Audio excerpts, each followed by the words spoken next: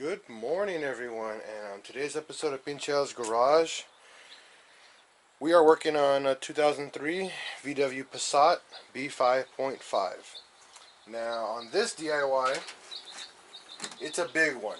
This is an overhaul DIY, so this is a long one, but I think you guys are going to enjoy it. So what's going to happen is that we actually have to replace the the front core support is all have to be replaced today. And after the core support, we're going to show you how to remove pretty much the whole front end and swap out your core support.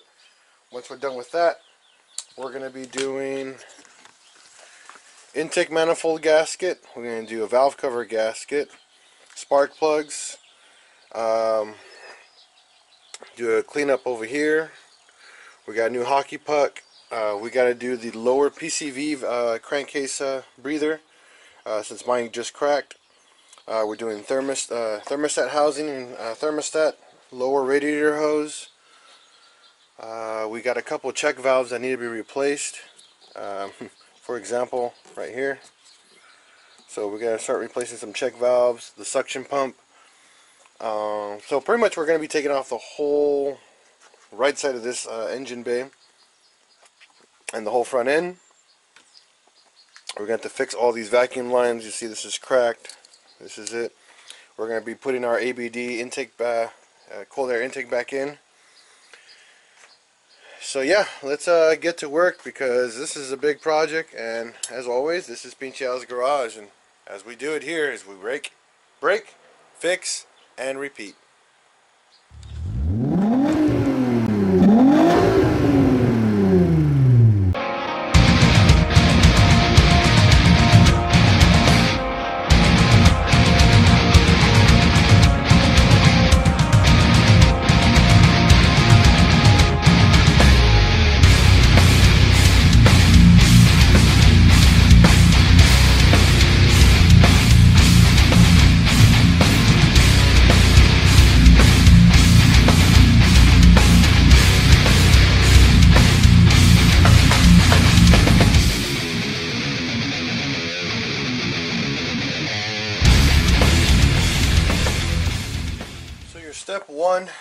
Be to obviously take off the front bumper but once you get the bump, front bumper taken off we need to start figuring out what is actually holding the core support up.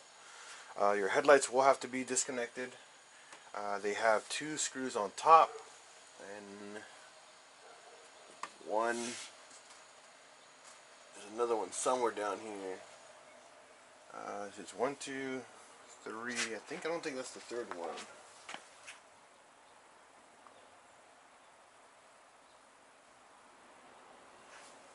Actually, there one, two, and there's two back here. We'll show you how to get to those, but there's four. There's always four screws for headlights. Um, once you get those four, then the headlight can come off.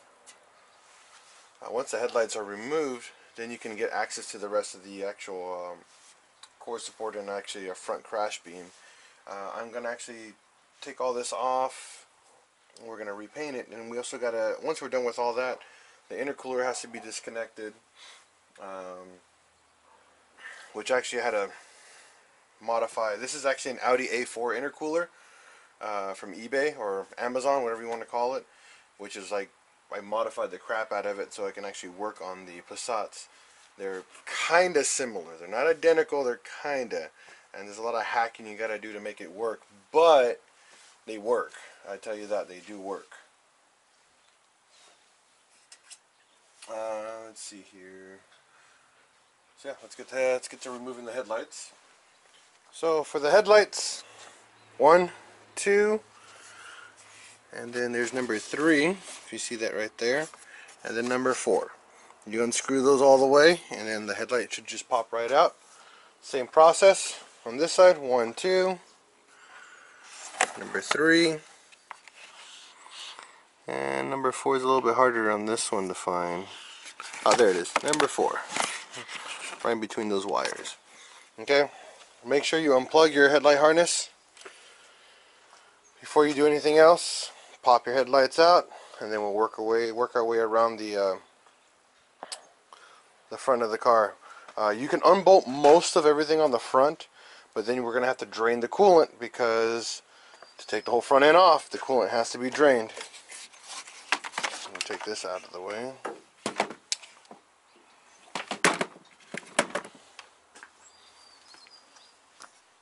So in traditional aspects of this, um, get yourself some sandwich bags.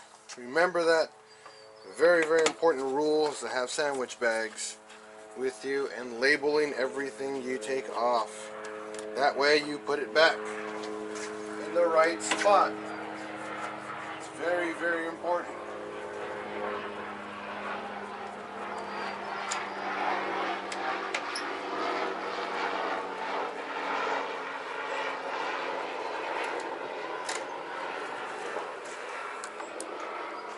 There's two.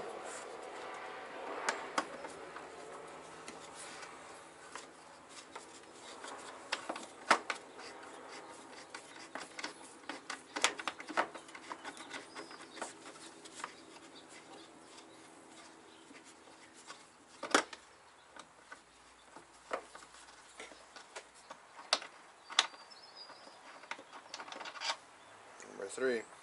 Now the big ones in the back are the I mean the two in the back are the much much larger ones. So uh, you can also use a 10 millimeter uh, ratchet to get to these two. It's actually not a 10 millimeter it's an 8 millimeter for the bolts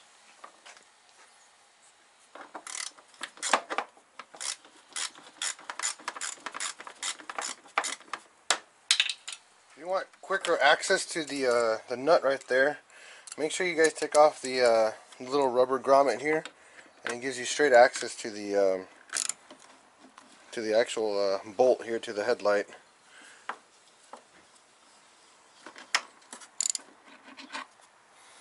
There's that.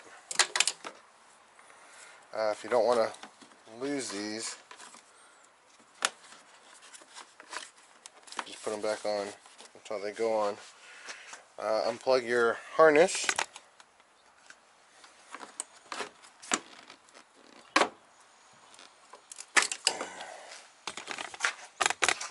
Slide your headlight out.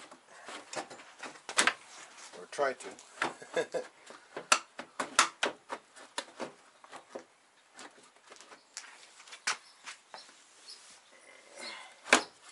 oh, this is what's holding it back now. This front core support here. So, we gotta get bolts. I mean baggies. So, headlights won't come out until this comes off.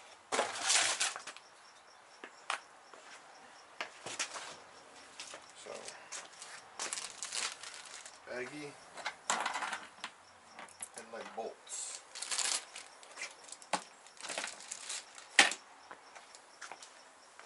No, I didn't forget to write it down yet. I'm just busy doing something else.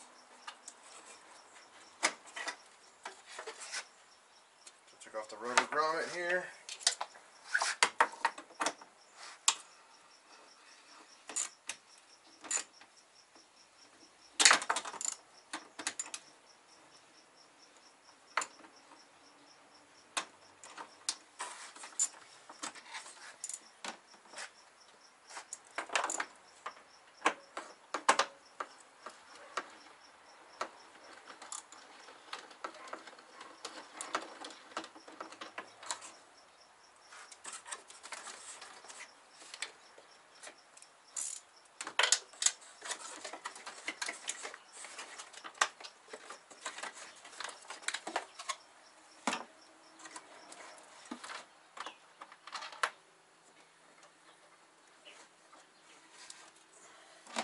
That.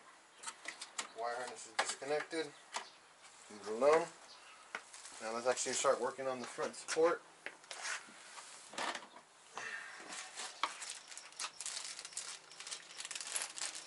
So zip these away and then right on them.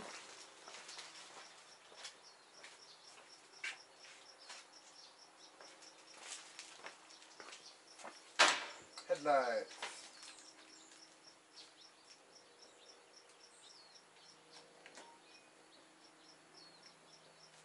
Done. Throw them in your box. Go to the next one. Alright, since we got all that taken care of,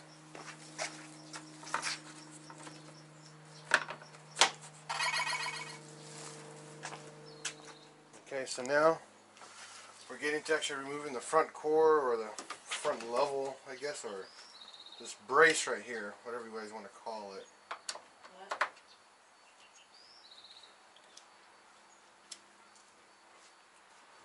What? He's inside. Okay.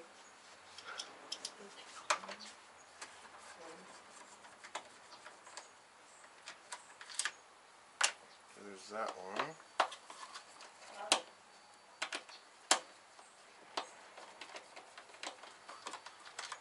Two.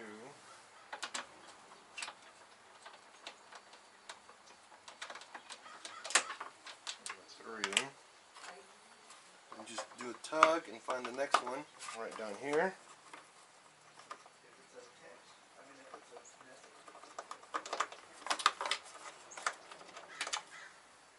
Four. There's that side coming off.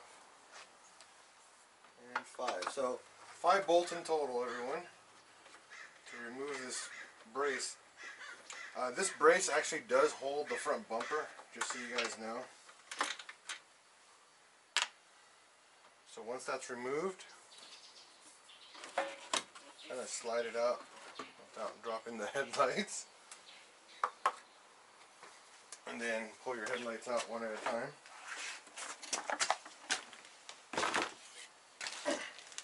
Um, I'm probably going to keep these bolts under the headlight bolts because this this is what actually holds them in place.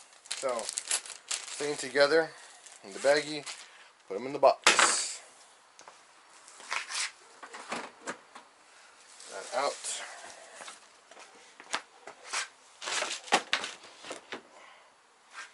All right.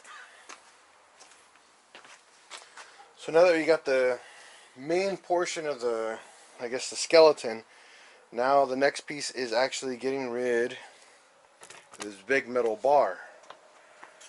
You guys can see what I'm talking about. This big bar here has to come out next. So there's a couple ways you guys can go about this. Keep this on, which nothing else is touching it. Um, pull that one out. That's the uh, AC line or something. Just water. Um, so we need a, there's three, one, uh, a 10 millimeter, and then three, uh, looks like a star bits uh, that holds this whole crash beam in, in place. So let's hop to it. So first things first, get your 10 mil. So I guess this a six point star is a T45 or Torx. Um, it's a T45, so very very uncommon uh, socket or tool. You don't use very much, but you do use it on this car.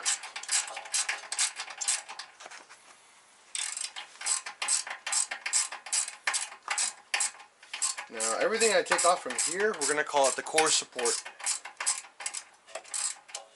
because this is pretty much what it is. It's the main core core support for the car. Now, as it sits, we're only going to take off three right now of these T45s.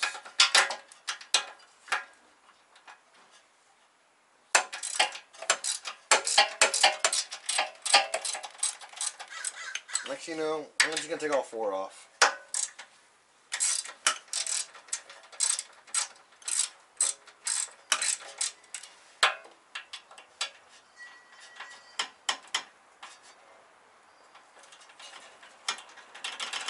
This one's a little, getting a little difficult.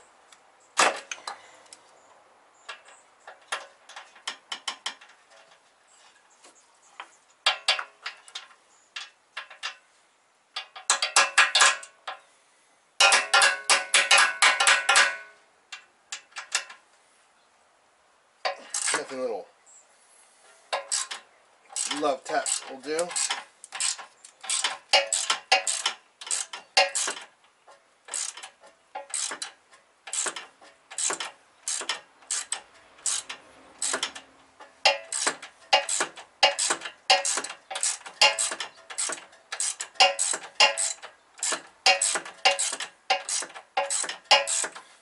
Now just make sure you do the same thing for both sides and then we'll show you what to do next. So with all eight bolts removed,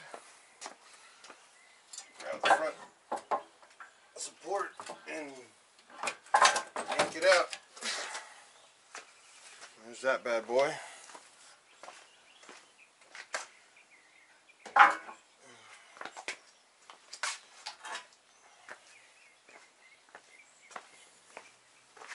Now we're even closer to our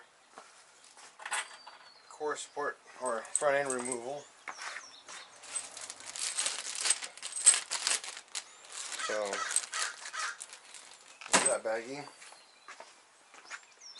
Now, on Passats, they're a little funky. Um, you need to follow where everything's bolted onto. So, follow the plastic. That's what's going to tell you what goes where. So there's one. Here.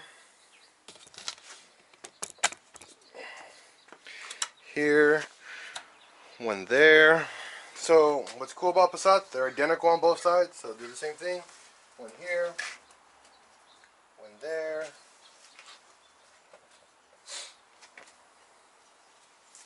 Uh, we're going to have to remove the front mount intercooler, obviously, to get to the rest of the core support. Um, let me see here. So yeah. So we got to unbolt it here, unbolt the intercooler there, take the piping out of the way. Might have to just pull the piping out. To be honest. And then this is where you got to make that decision you can either go two ways about this. You can pull the whole support or there's a shortcut. How you might ask? Well, I'll show you. This is coming back to me since the last time I did the timing belt on this car. So you can actually unplug the radiator here. These little supports here hold the radiator in place and um, take those out obviously take out your um, unbolt your intercooler and you can swing the con AC condenser out of the way. You might need something to hold it up. And then you can pull the radiator out uh, obviously uh, disconnecting it from the two upper and lower hoses. And then that'll give you the access you need to go underneath here and get all the stuff that you need to get underneath here. Uh, you you might need to uh, unmount the AC, um, the big fan, so you can give front front access to the car, and that would save you about an hour of your progress. So it all depends on how you want to go about this. Um, I need to remove everything so I'm gonna have to disconnect everything out, out of here because I have to I, I got to replace this uh, support frame um, and do a lot of hacking when I put it back on because freaking intercooler is So just FYI, if you're not replacing the core support and you just want to get in to do some of the work that we're doing, you can unbolt everything here. Do not touch the core support. You can take the well, if you factory intercoolers underneath, whatever. But unbolt your front mount, unbolt the condenser. You're going to need something to hold it because this condenser's AC lines are right here. They actually let you swing all the way out. And then you can just pull the in, uh, disconnect the radiator and pull the radiator out of the way and that's it. It gives you access and that's how you also do the timing belt job on this car too. Um, if you guys ever seen my DIY for an A4 Audi, it's the same process, exact same process. Um, so just a good pointer for you guys. Now, with a three quarter, three quarter inch uh, hose, you want to attach it to this little nipple right here on the side, and open up the petcock right here. Start draining out your coolant. Without making a mess. So that's draining, you can start loosening all the other parts that you need to actually uh, start taking out of the car. Um,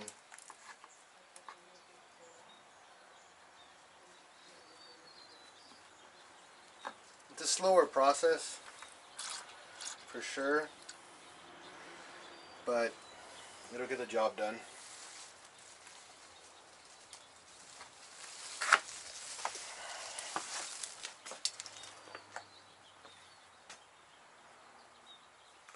That way you don't have to worry about making a mess.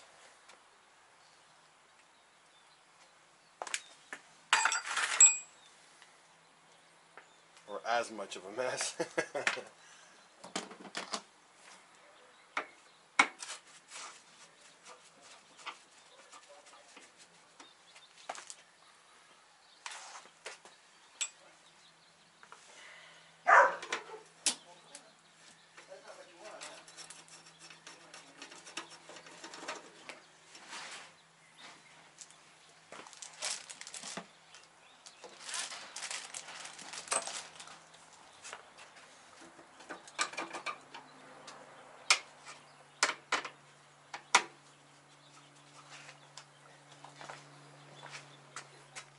step is to get the condenser out of the way.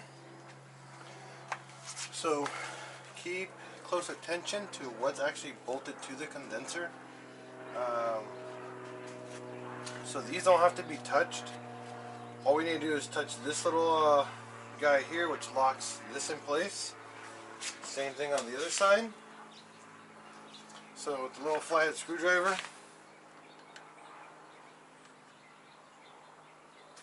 and some let's see here. A little harder. Come on. Come on, you little guy.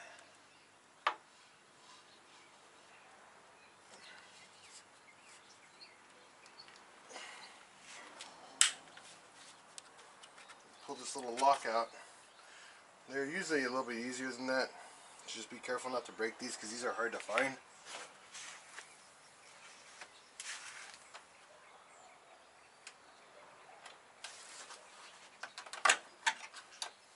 I would suggest uh, pulling out your what you call your tab here, your pull tab the hood latch because you might end up yanking it out.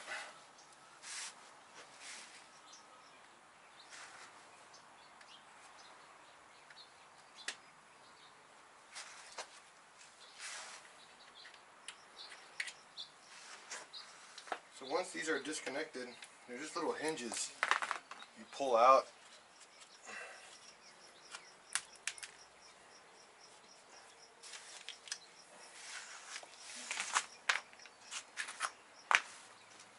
And if everything's okay, because this these lock here in place just by literally just not by much, and then pull the condenser out of the way.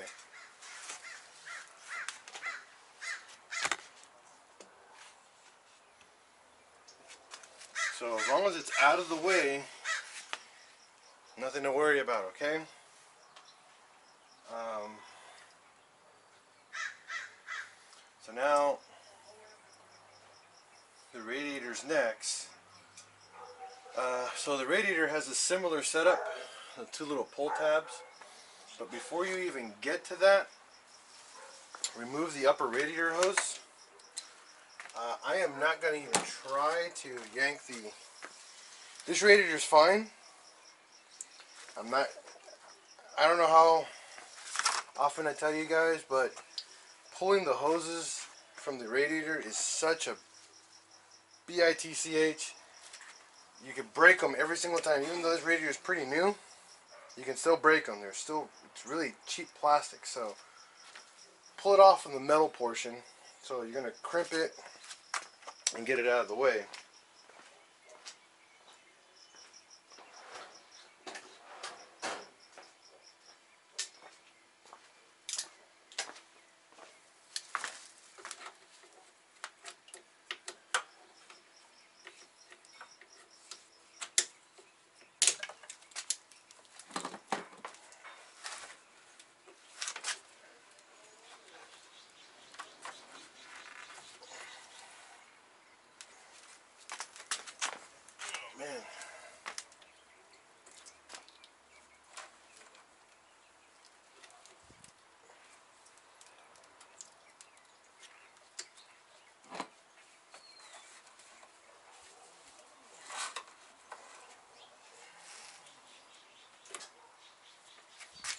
Radiator hose is gone.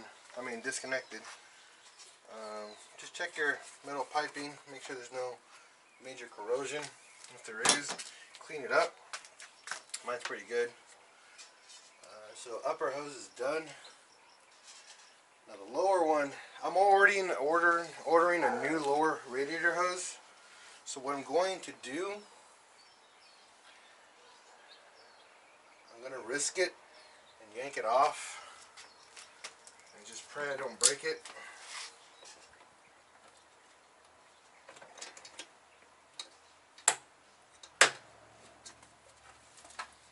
You don't understand. These, these things suck.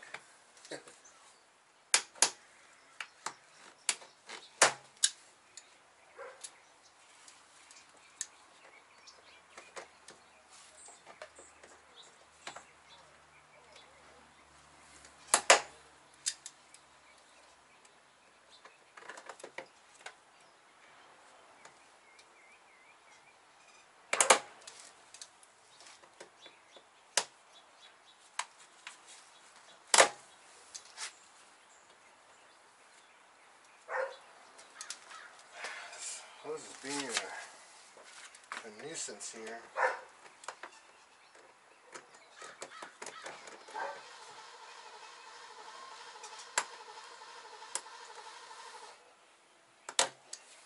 My neighbor trying to get that Mustang running.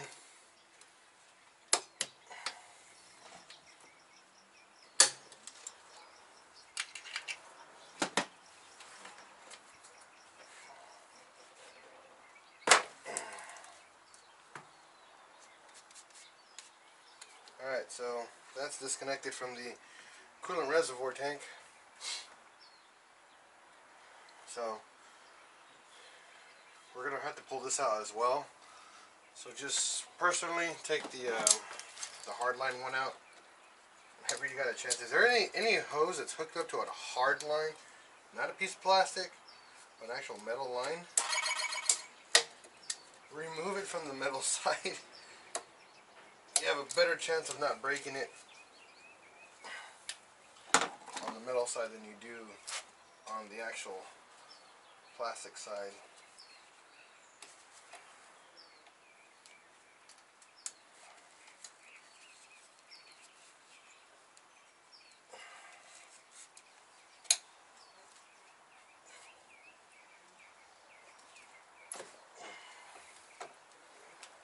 There's that. I'll move my box over here. Sorry, guys. Just chills on this. Actually, the AC works on this car. Believe it or not.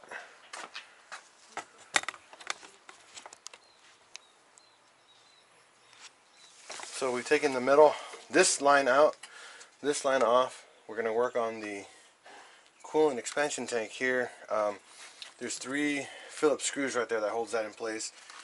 Just take it out, get it out of the uh, equation.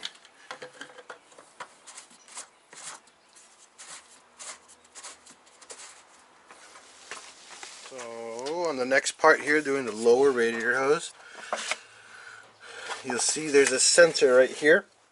There's a clip. You can go two ways. Unplug it and out of the way, or unclip it and take it out and then there's a, another clip right over here you unclip that and then wiggle the lower radiator hose out. Uh, that will get you pretty much the next portion here. Once we get that removed uh, the rest of the front end can be removed actually because that's the last thing in our way of taking this whole thing apart. So now that we got the lower and upper radiator hoses uh, disconnected now is actually to, to pull the radiator out. Um,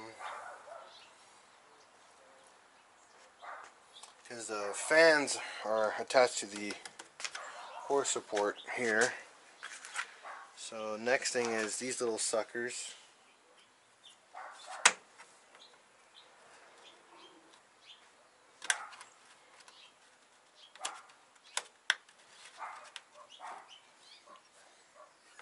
You guys are tricky. So same thing as the other ones. You um, push this down and then just pull it out. Nothing special. It's just being careful not to break them. That's a that's the hard part.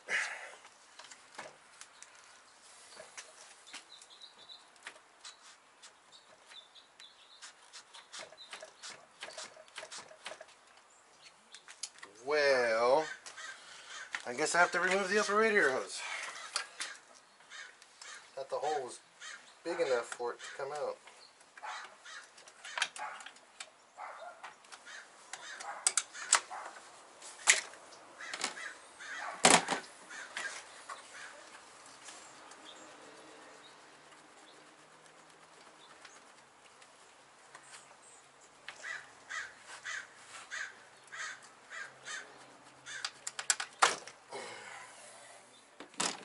Oh, it's so sketchy every time I do that. hate that.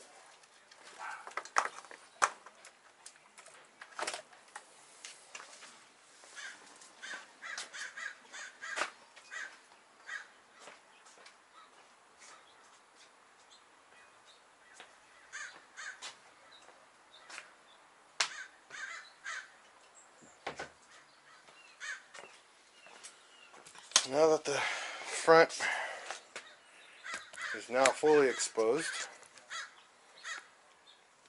The only thing you need to worry about is this fan here. This is your uh, AC fan. This is your normal fan. Um, so this one's kind of cool because it's kind of like a clock. Um, give me a second. So what I ended up doing before I actually take the fan off, I unplugged the main fan harness, which actually plugs in right here with this little array of mounting brackets right there. Just unplug them. Next thing you're going to need to do is take the screw off from this bracket, take the screw off of that bracket, screw off of this one and this one.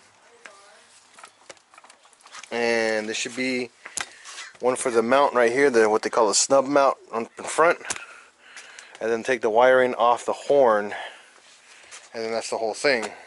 So let's give it a try.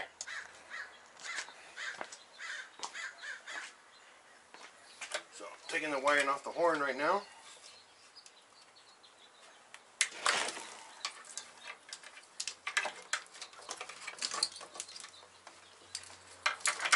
Pushing this out of the way. That should be good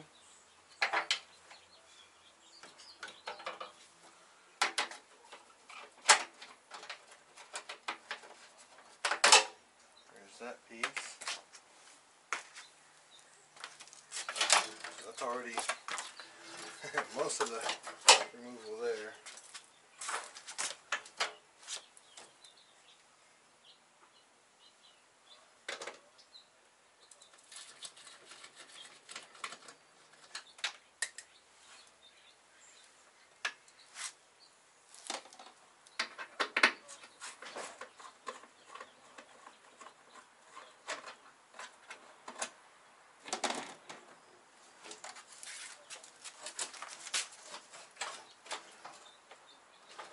Got a couple of things that need to come off on this side. This side's completely removed.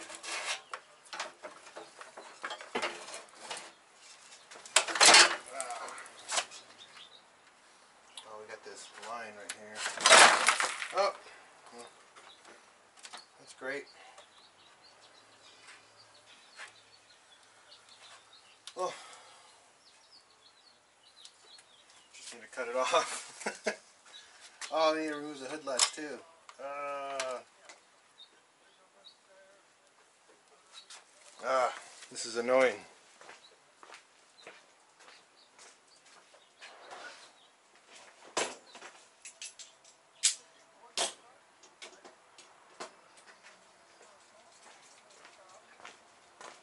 It's supposed to go a little bit smoother than this.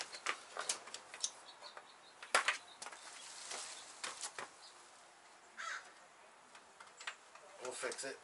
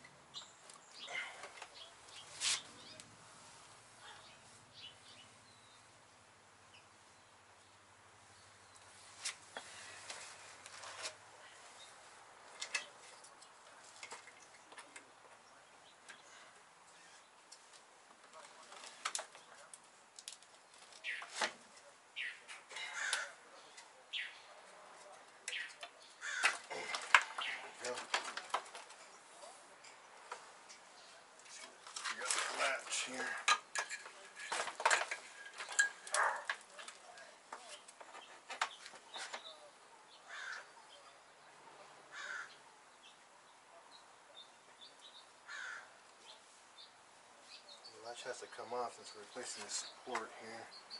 So,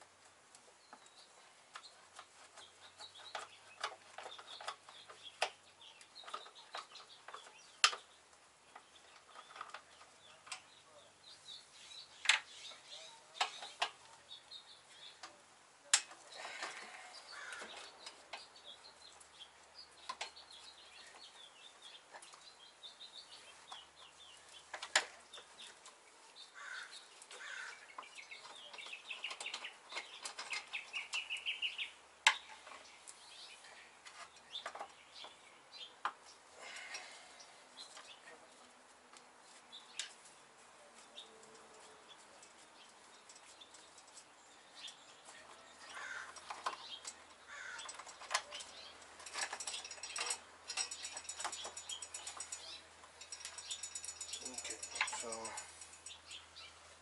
hood latch is coming off.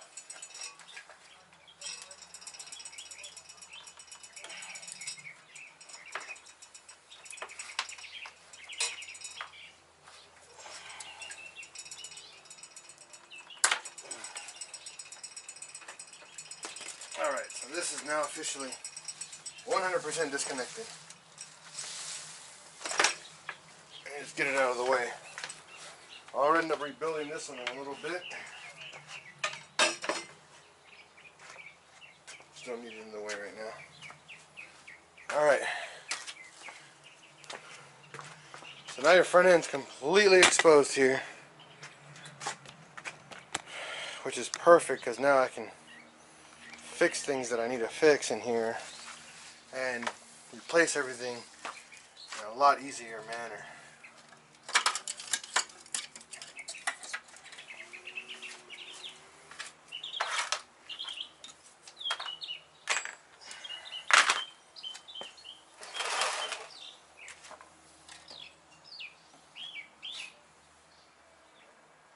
So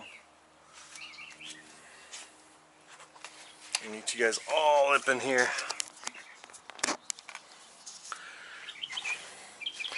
So you can see here we're going to need new O-rings for the fuel injectors. That's not good. So we're going to have to replace all that. If you come down this way, you see there's a coolant leak right here on my lower radiator hose and from my thermostat right over there. If you go this way to the oil cooler, we're on here, you'll see there's another oil leak right there. I mean coolant leak. Now, if you come this way, all the way in the back, I know it's hard to tell, but there's a crankcase line that just snapped. So that all has to be replaced. Uh, since I'm here, I'm also going to be replacing both motor mounts on the front. The intake manifold has to come off.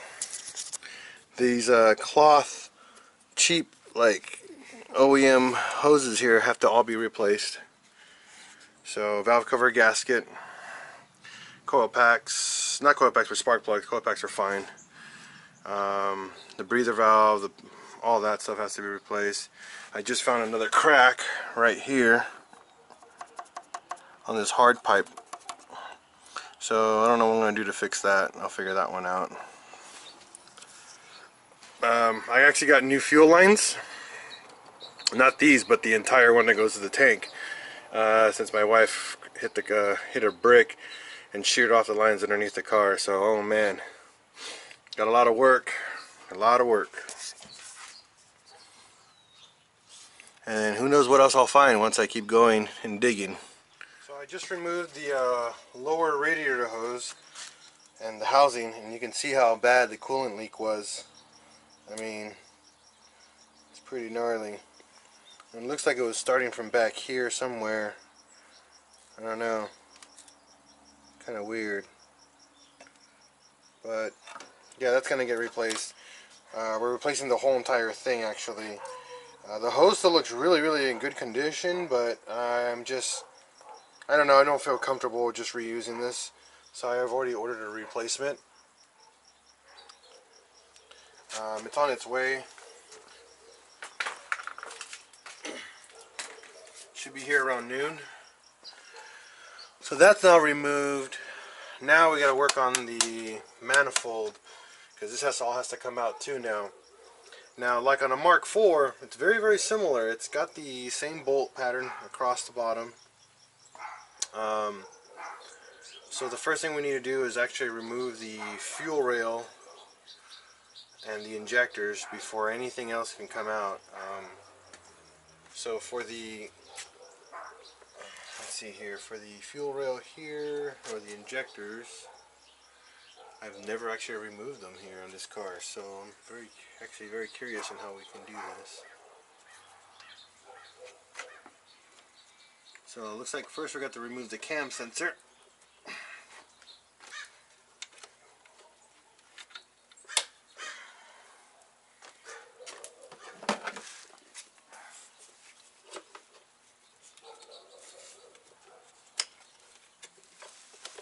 So that's sensor number one, cam.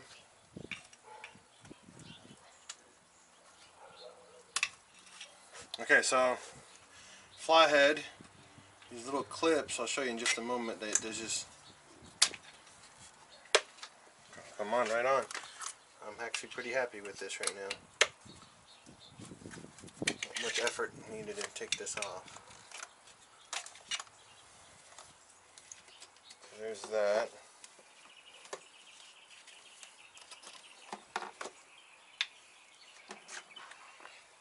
Oh, to show you what I just did. Um, move you guys up a little bit higher.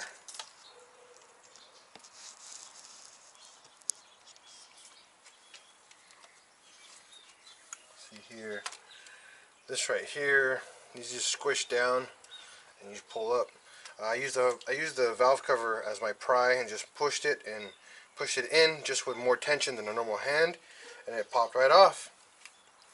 Pretty easy. Now the fuel rail, just like a Mark IV, has got Allen portions. Let me get you guys a better angle. Hold on. So here, there's one, two, uh, two bolts pretty much, and then this pretty much whole fuel rail. There's a vacuum line right here. Uh, just pull it, pull it. It's really not in the way of anything. Um, my only concern here, actually I don't see one yet. So yeah, just take those two bolt, uh, those two, to get that out of the way, and then we'll show you what to do next.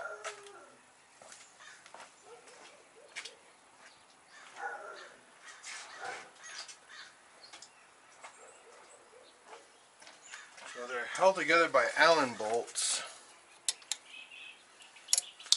And it uses a number 5, I believe. Yep, number 5. And there's a trick to this. Obviously you don't have much leverage to do this, so what I do is I grab a socket into the actual Allen. And gives me all the tension I need. I mean leverage I need.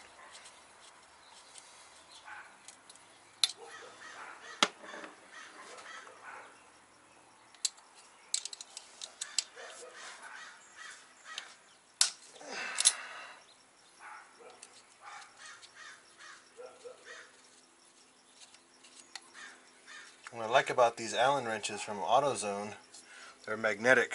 Pretty dope. So now, once the two bolts are removed, and you got that vacuum line disconnected, the injector should just pop right out. And that was way too easy. Yeah, I'm gonna need new O-rings for sure. Uh, pull them aside.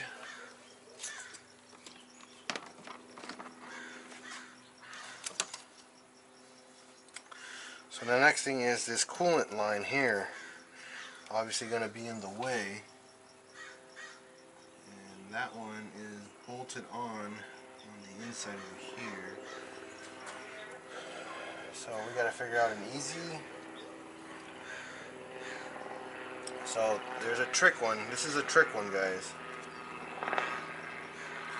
Um, because that coolant, this coolant line is metal, and it bolts onto a metal flange behind the head. I hate this one. This one is really, really annoying because of the way it's mounted in place. And it's easily damaged. Like, when I mean easily damaged, it's just way too easy to damage it. Um, it's held together by two 10 millimeter bolts.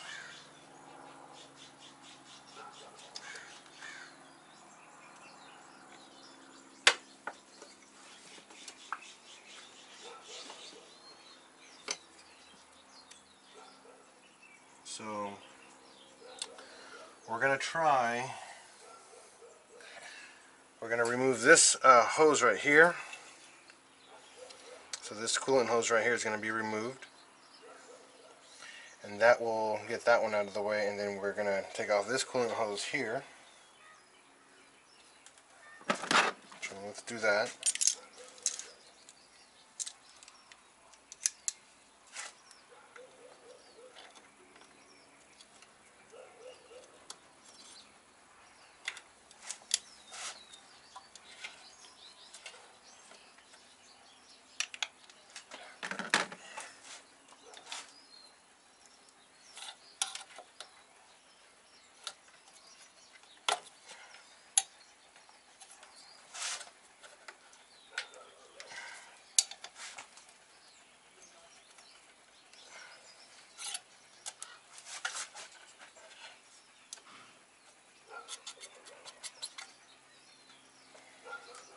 Just move this guy out of the way.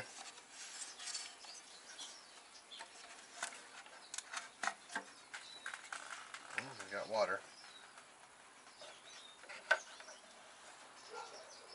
Mm. We'll just keep it there. Not gonna do anything. And this is the next one. Sorry, I'm blocking the view.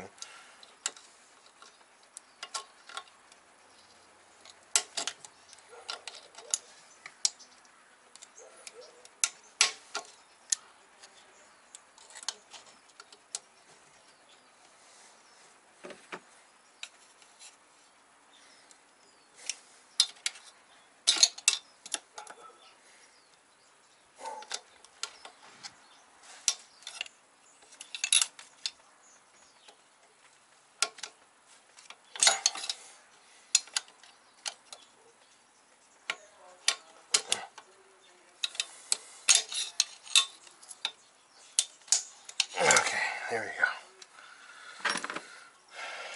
Another ass hose. Now this one is the oil oil cooler hose right here.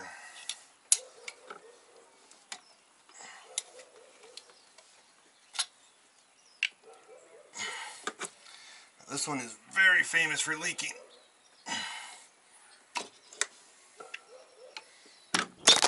Ow.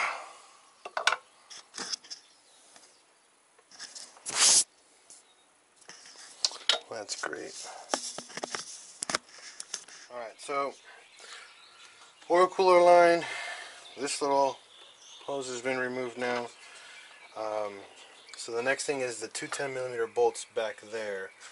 Now, I'm pre-warning you right now just because there's a bunch of vacuum lines right here. And I mean a lot.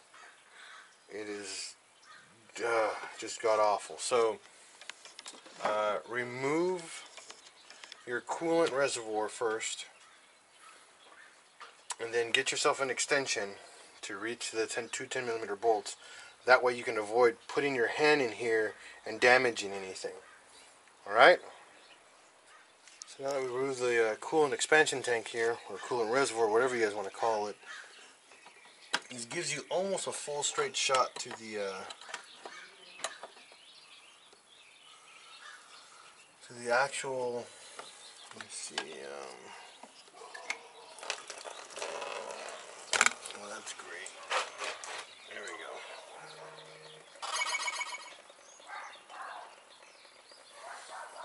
To the uh, metal line that bolts in. Uh, I'm gonna get you guys a view of that, okay? So let's go.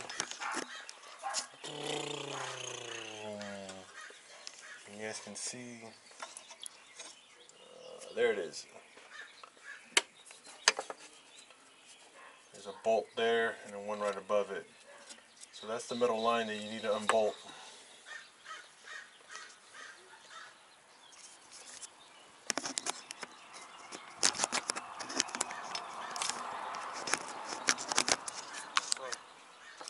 I just removed the two um, two bolts on the hard line. Now I can actually take just take the hard line off. So it's only one five millimeter Allen bolt to hold this line.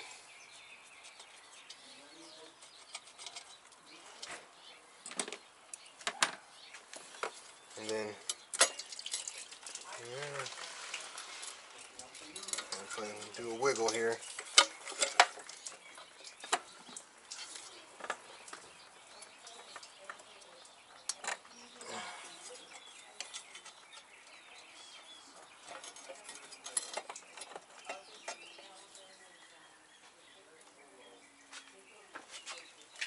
Yeah, you got a couple of rags right now.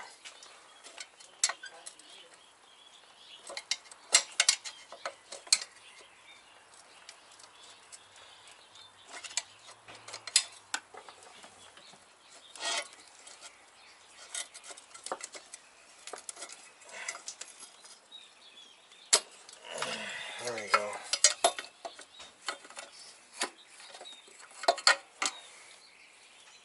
Hard lines out.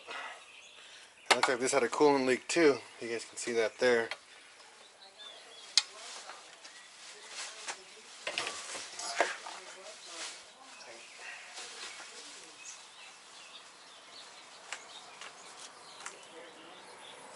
So now this exposes everything that's going to look like pretty much a pain in the rear to take off. So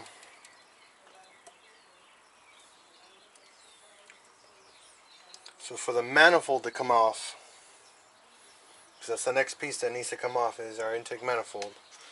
Um, make sure we disconnect the throttle body, idle air or the air temperature sensor uh, before anything else goes.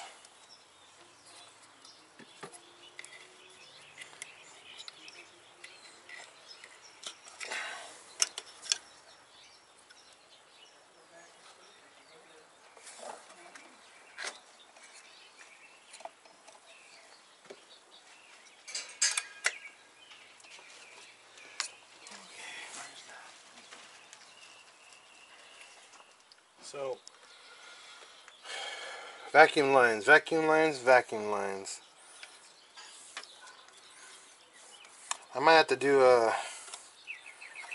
a delete for this car, man. Because holy shnikes, there's so much stuff in here. But the car's not tuned, so I can't do that. Not yet, though.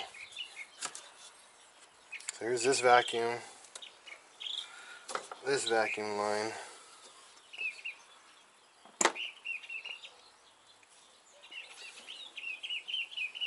This one right here just actually I'm gonna it's already broken so I'm just gonna let that slide off. I don't want to damage it anymore. Uh, this this one right here, if you guys see my hand, this one goes underneath the manifold.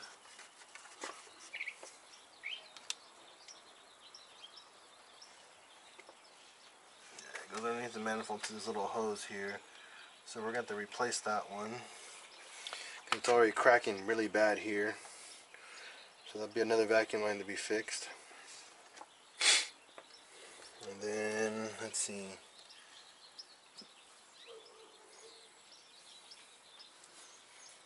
Huh. I'll show you guys this.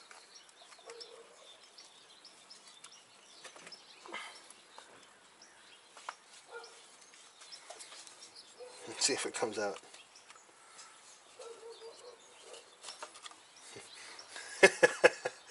That's the uh, breather hose underneath the on the on the crank. So that's that's done.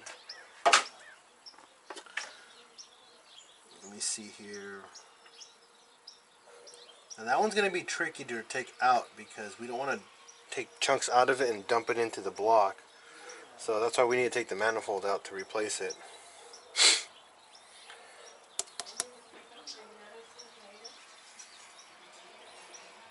I'm trying to see, there's a lot of vacuum. I wish there was a way you can unbolt the. Oh yeah, there is a way. There's two brackets, two bolts underneath. I mean, I guarantee there is a way to simplify this whole setup too.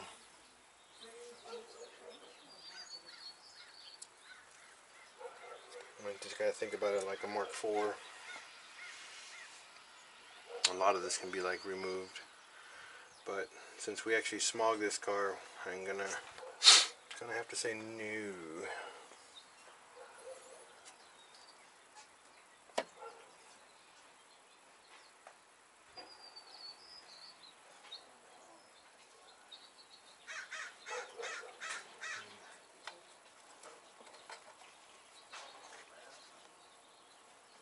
So I count three.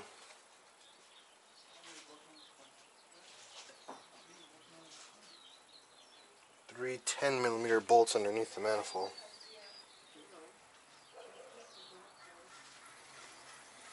That's what I see for the moment. Give it a try.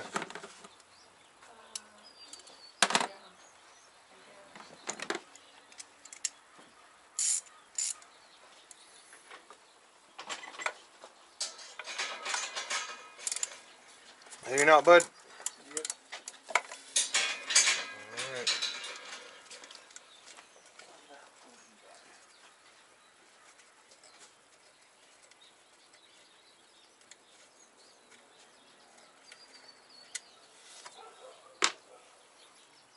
There's one.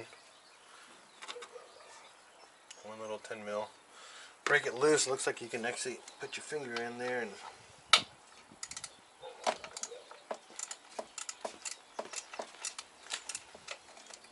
Something over there.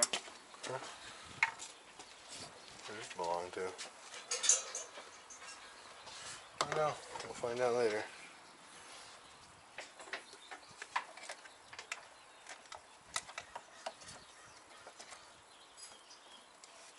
Let's see here. Sorry if I get in the way, guys, but you don't need to see this part. I'm just explaining what's going on.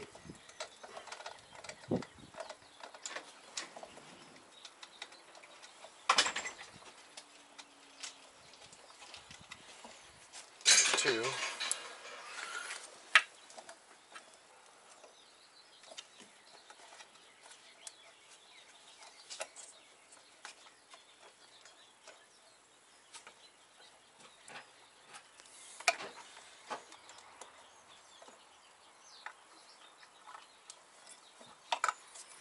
Three is tricky. So now I took the three bolts from underneath there's a big uh, bolt that holds a bracket right here uh, for the manifold. I guess it's more like a brace for the manifold. Um, I took that one off. Uh, there's two 10 millimeters, uh, 10 millimeter nuts on the actual manifold itself. Remove those first.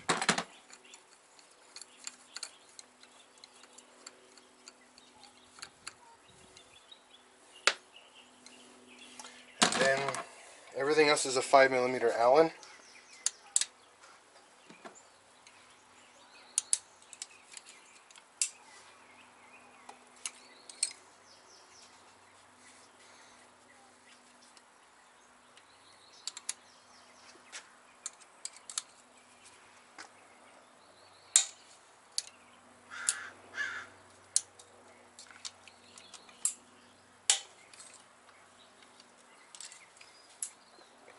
Now, keep in mind, this is the first time these bolts has ever been removed since I've owned this car. Like five, five years. So, they're on here really tight. So, I'm using a little cheat stick here.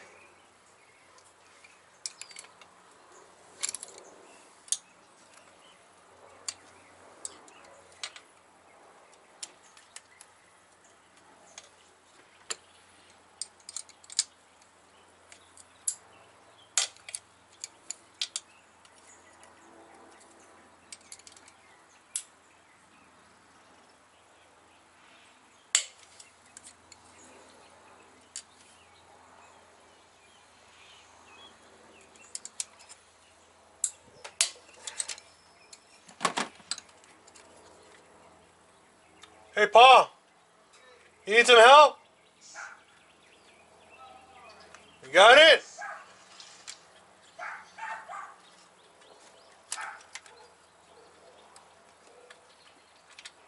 It's my neighbor. Super cool dude.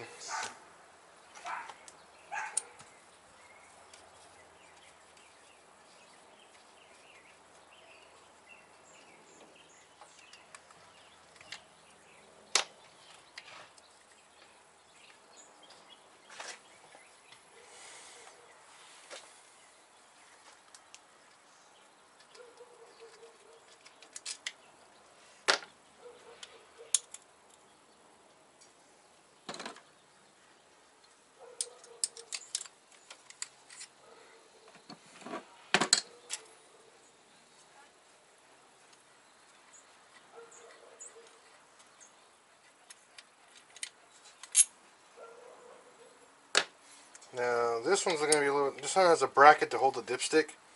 You're gonna need to um, pull the dipstick out for this one, okay, guys? The dipstick has to come out. Oh, the whole tube.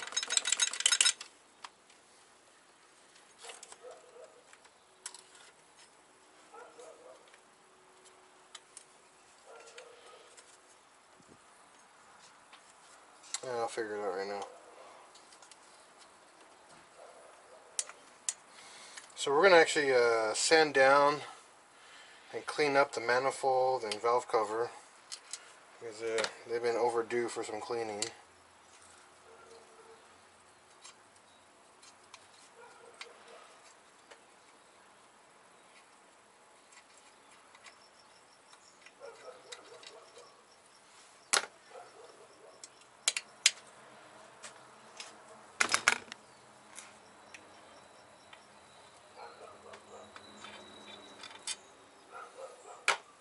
If you guys ever need to do the intake manifold or the breather system, do everything that I'm doing.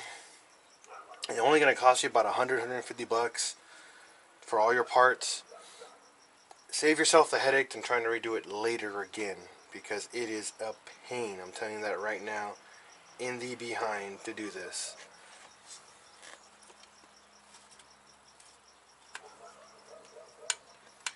Now, try to pull out your dipstick tube without breaking it.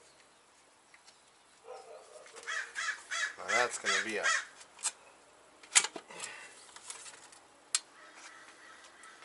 true test here.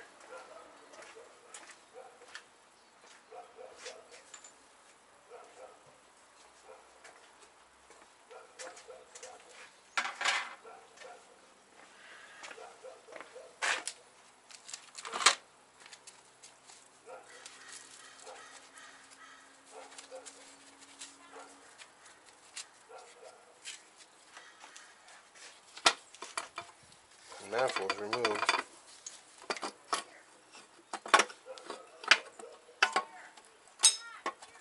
What do we got hooked up to this still? Oh, there's another vacuum line. One more.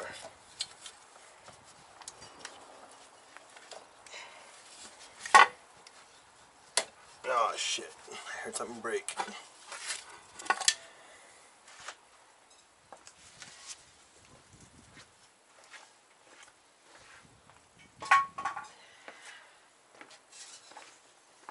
So I was tugging on this hose here. There. A T broke. Ah, yeah, yeah, yeah, yeah. Ain't one thing with this car, it's another one. It's another thing.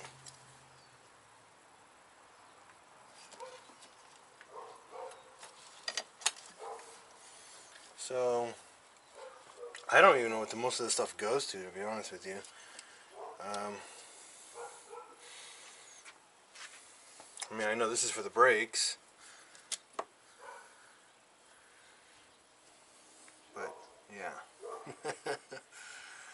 So, now we're actually in the innards of the 1.8T AWM Passat. You guys can see that. Hopefully you guys can see that pretty clear. So now we just we just removed intake manifold. Lower radiator hose is right here where, where the thermostat now is here. Um, so this pipe right here has to be replaced. This has a metal pipe that goes into a rubber T and then it goes into these lines right here. So what broke was here, this uh, crankcase one. So we're gonna have to try to pray to sweet baby Jesus and remove these two hoses. This one will be fine. This is more of a concern right here is this guy right here. Remove this guy without breaking it and get the new one, new crank hose coming in in a little bit and get that swapped.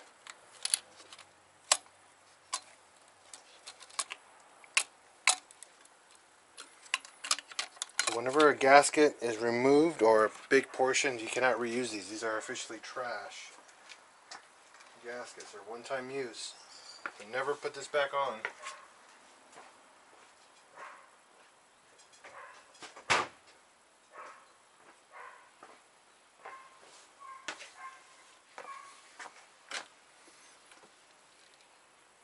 And then while you're at it, you might as well give this sucker a good cleaning.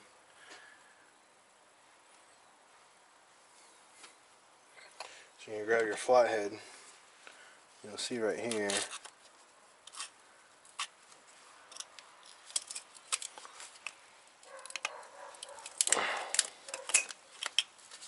It's a metal hook pin right here. And then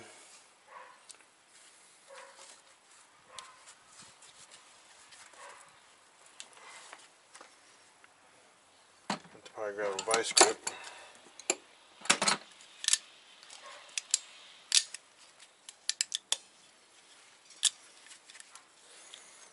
Grab what's remaining and pull it straight up.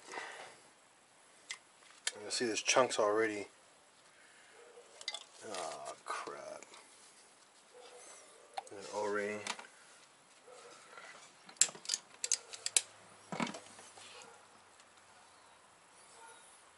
Need to figure out a way to suck all that out before it decides to make more of a mess into your engine. And that's why you guys need to replace that as soon as possible.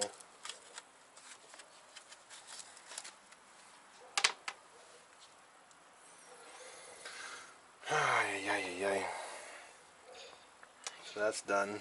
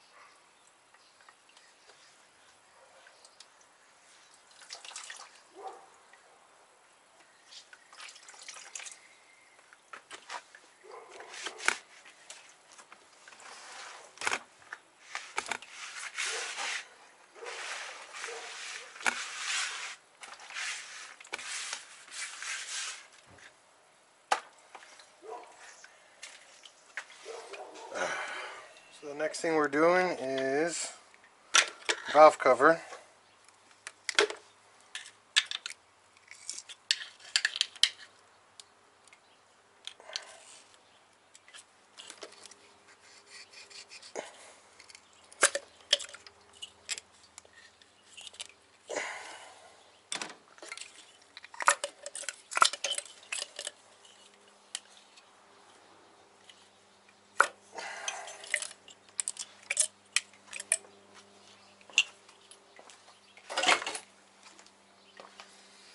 Really easy about the valve cover, it's just 10 millimeter bolts around the whole front. Uh, get that sucker timing cover a little loose. Don't need to take it off. But since you're here, I mean, give it a little peek.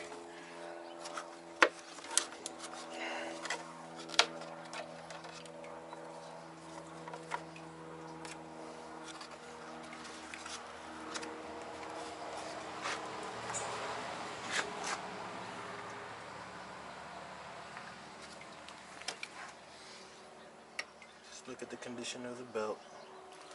I don't see anything funky with it, so I'm gonna leave it alone. Dead cricket. um, so again, you're gonna need to do your five millimeter bolts. One, two, three, four. Uh, the ones on the side, those are your main PVC bolts, or AKA your smog stuff.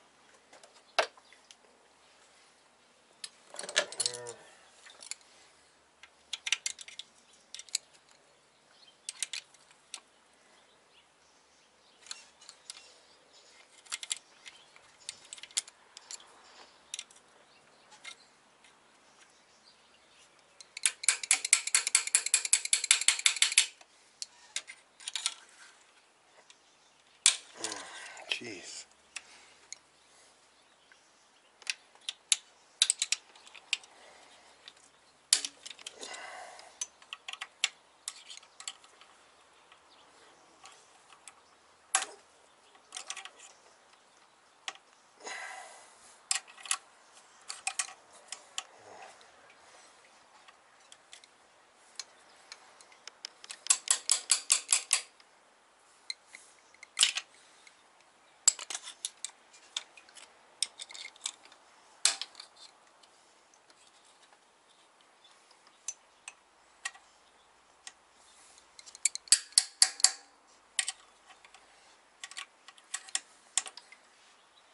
Well, that's not good. One just stripped.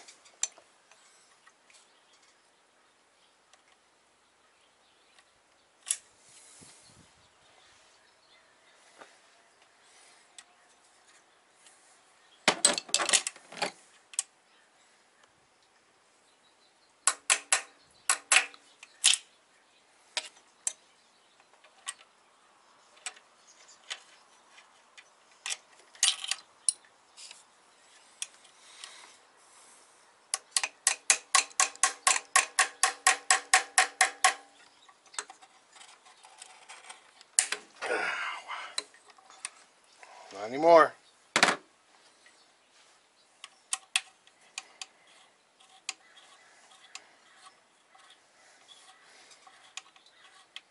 So, I gotta make my baggies right now.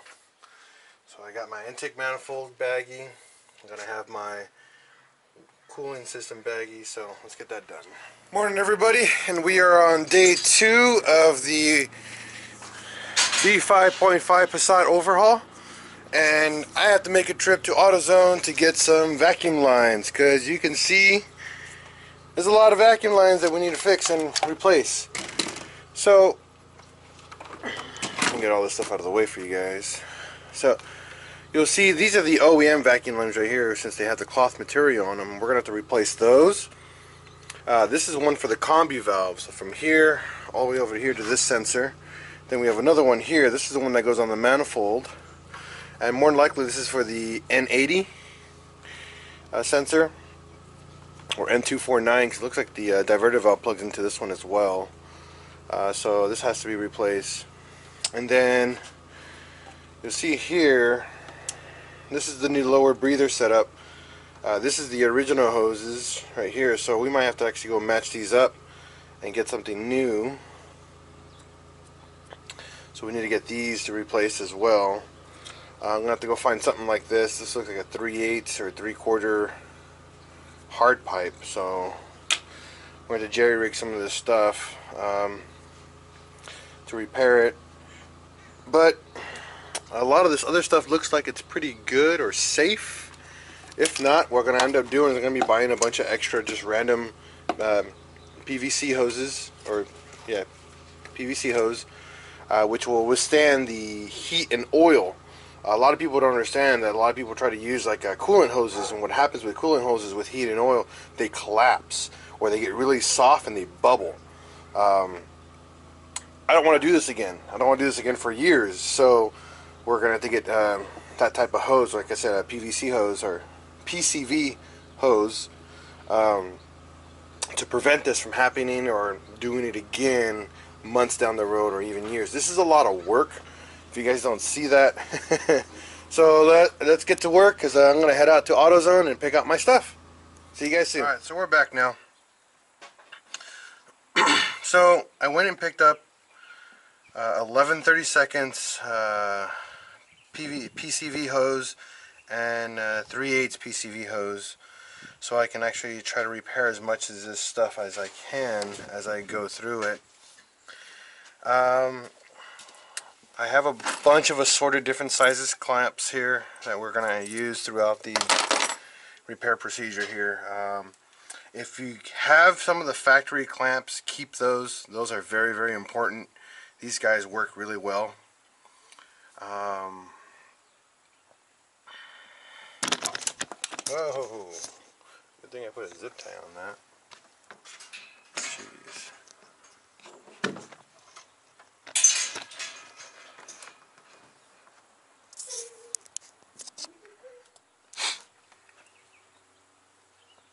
So you're gonna need a couple couple clamps. One for your uh, breather elbow here from the crankcase. So there's one here. You're gonna need one from the metal pipe that's down here. You can see where my finger's at. There's a metal pipe that goes here all the way over to the, the valve cover. Um, so we need to replace the or get new clamps for those because these had uh, these still had the factory clamps on them. So and I know for a fact it's never been serviced. Uh, these as well had factory clamps on them. So I know I need to get a new clamp, new clamp, new one here. If you don't see any rips or tears on the factory hoses, don't swap out the hose. Um, since these have the proper bends to actually get to where they need to get to easier. Uh, the only time I recommend swapping out the uh, the the hose is if it's already torn or just really badly damaged. This one, this clamp isn't doing its job anymore. It's lost its force. So that one's gone. Just add another.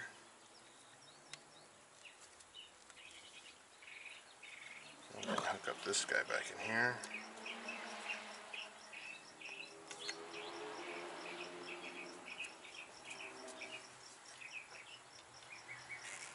Now you'll know that I'm not tightening everything down, I'm just getting everything settled to where I need it. And once it's ready, we'll tighten stuff down. So now I need a clamp here and here. So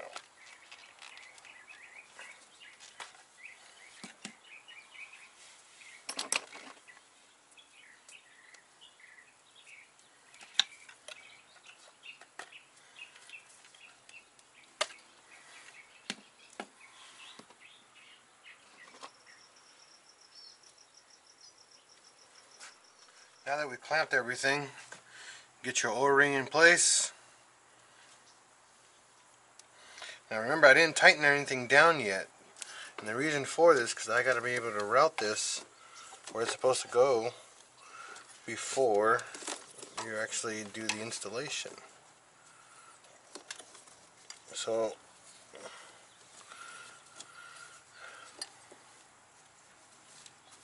This is a tricky one because you got to get the metal pipe in first.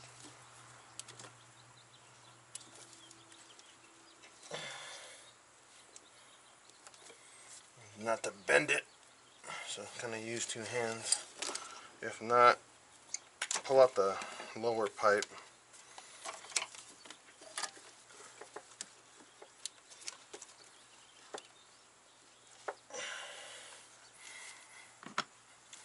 loosen this clamp a bit more.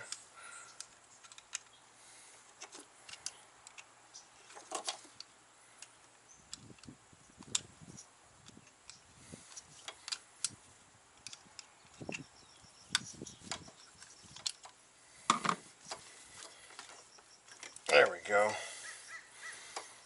Uh, So that one's in. Now you want to move as much as you can out of the way because you'll see how this is routed.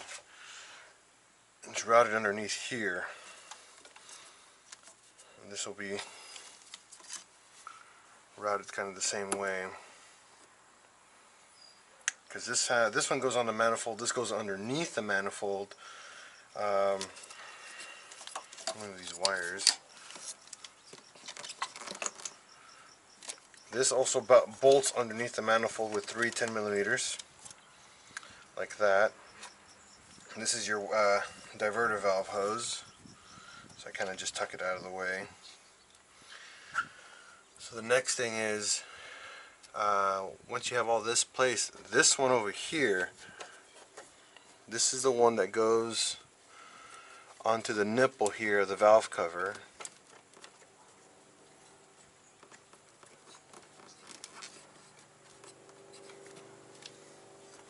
Now I'm only getting you guys uh, situated because I still have to do the valve cover gasket. I already unbolted all the bolts. I've taken off all the bolts uh, and nuts off of it. Uh, you have to take the two hard lines off on this side and then just valve cover comes right off. Um, so what's next is like this routing of this hose I don't like. We're gonna route everything underneath. Uh, but if everything is comfortably in place without it rubbing or touching anything, you can start tightening down your clamps.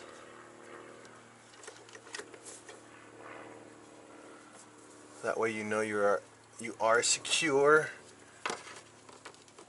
Make sure all your hoses and your check valves are nice and snug.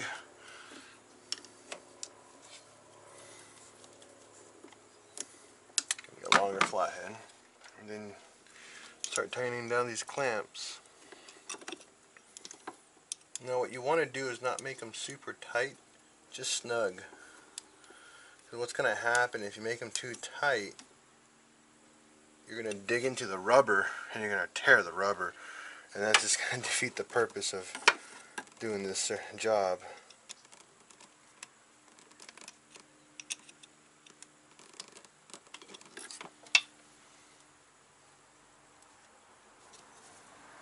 What I like to do is if you can get your finger underneath a clamp, put your finger underneath it and then you can put pressure onto it and that way it doesn't spin on you.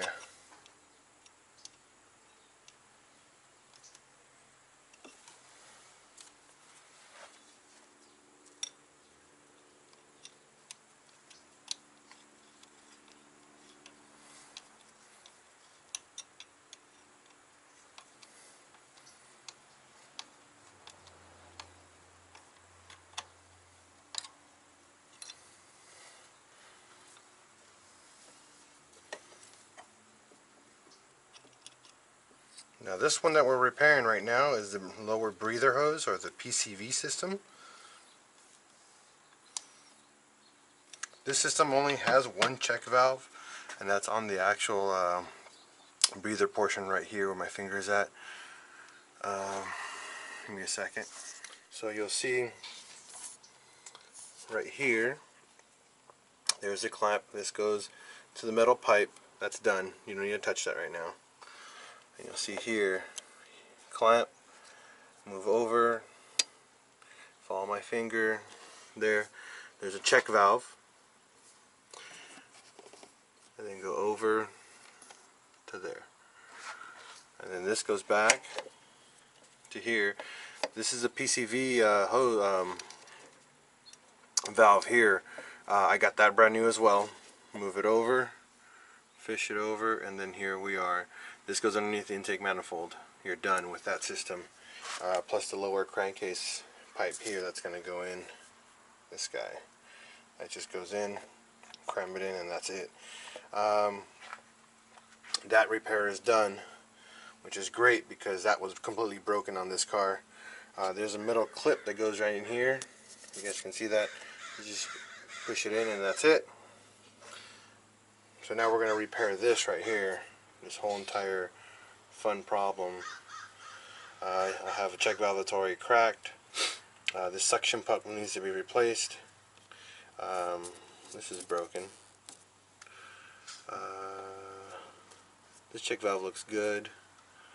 Uh, so it looks like we just have to replace this one and this check valve. So these two. The thing that sucks is though we have these factory clamps that have to come off, and then we have to put new clamps onto it. And I'm running low on clamps. so it looks like I'm gonna need one, two, three, four clamps for this repair. Actually, no, five right here. But that's what we got to do. Now, this is going to be a very, very tricky one. The reason why there's a hard line here, and you're going to have to pry on this stuff without damaging it. I use a very, very, very small screwdriver or a flathead screwdriver, and what you're going to do is you're going to kind of get into here, inside the clamp, just like that, and with your other hand, you're going to hold on to it and you're going to pry left and right until that clip comes off. If you see right here, this is at, there's a little uh, tab here where this is tightened onto and it's curved to the to the left. That means you need to pry to the left so this clamp can come off and lose its force. Um, same thing over here. These are a little bit trickier. Uh, these don't, oh, we do have it. Um, so whatever way this little tab is pointed is the actual direction you want to pull the uh, tab um, without trying to damage anything at the same time. It's going to be difficult. You're going to have a lot of trial and error unfortunately. Um, you will break stuff. I'm telling you this right now. That's why I purchased all of this prior and I bought extra hoses prior just to be safe if I have to patch anything uh, to get back the correct, pretty much the correct stuff in location. So let's get to work. So first things first, the suction puck one. Like I was saying, you're use your hand to hold on to it. If not, and then you'll see I got some leverage now. And what I like to do once it's already there, pry underneath once there's a space for it.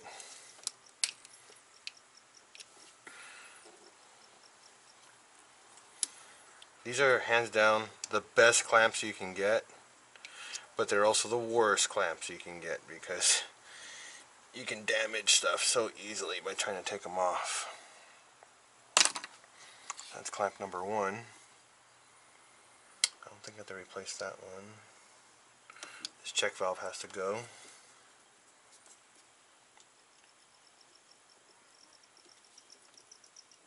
So what I'm doing here is I'm twisting on the inside of this a little bit so I can get some prying force and then twist to the left or the right. Once I got that, I got a gap here, pry, and that's it.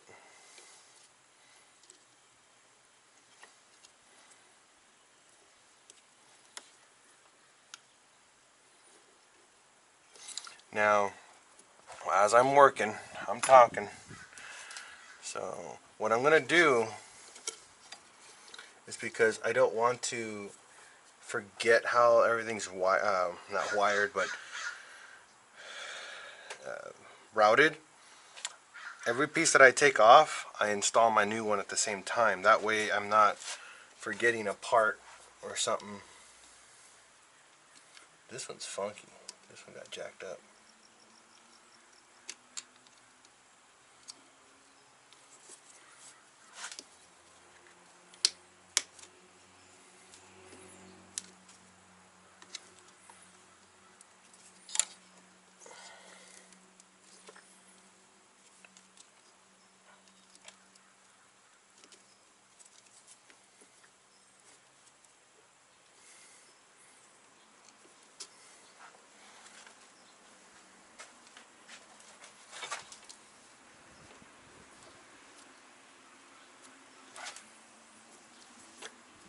Okay, so this one is actually backwards.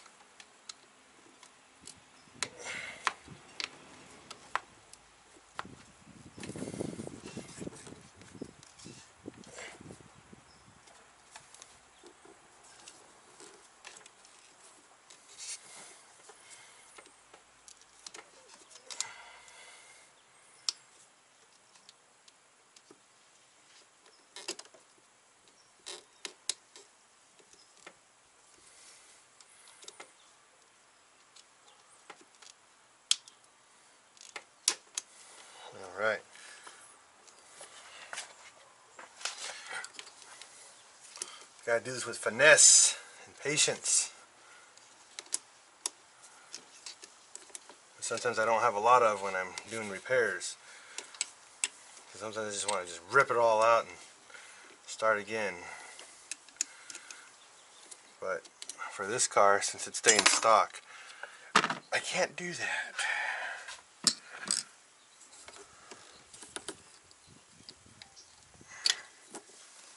Okay, so this is what they call a suction pump or valve. I got a new one of these, so I'm gonna go grab that.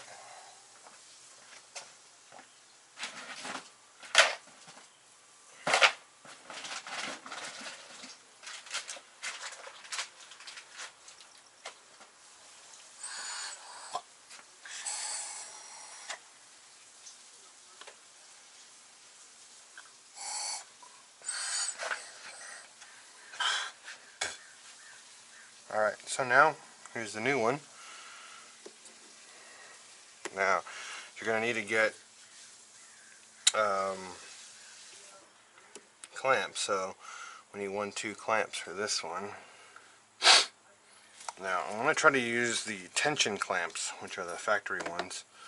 I like to use these if I ever can. They're one of my favorite clamps.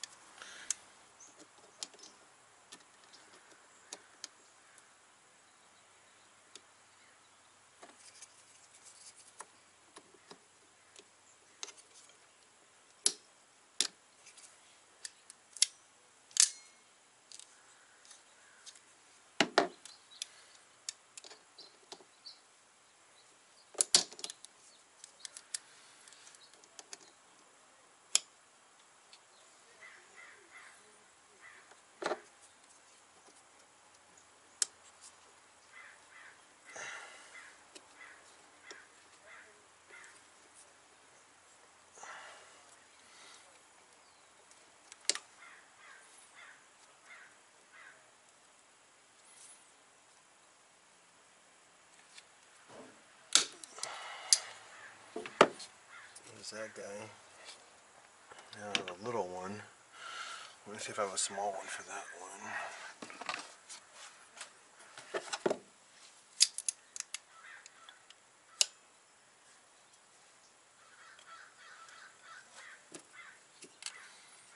Nope, just a tad too big.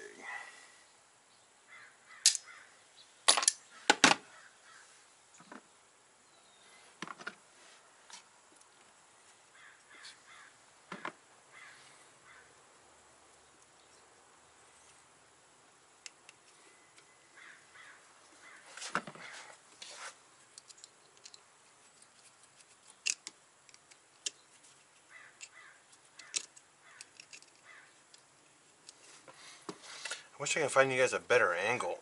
You guys can see this while I'm doing the repair. But I'll fly by it like I do always and show you guys what's going on.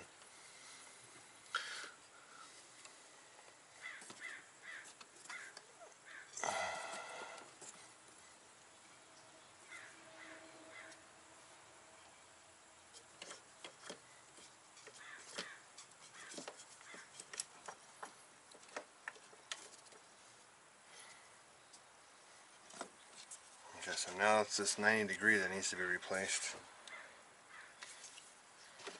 So maybe I can give you guys a close look of this. So here's the little thing right here. So we're going to grab, pry, pry, just enough, and then you'll see right here, just bend it or twist it, and there we go.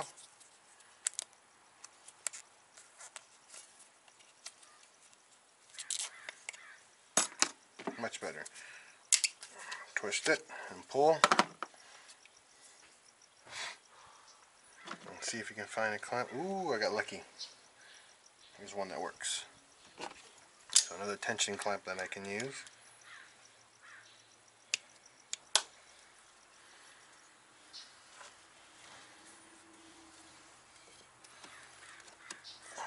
I don't even know the real name of this clamp. I just call it a tension clamp because makes sense to me.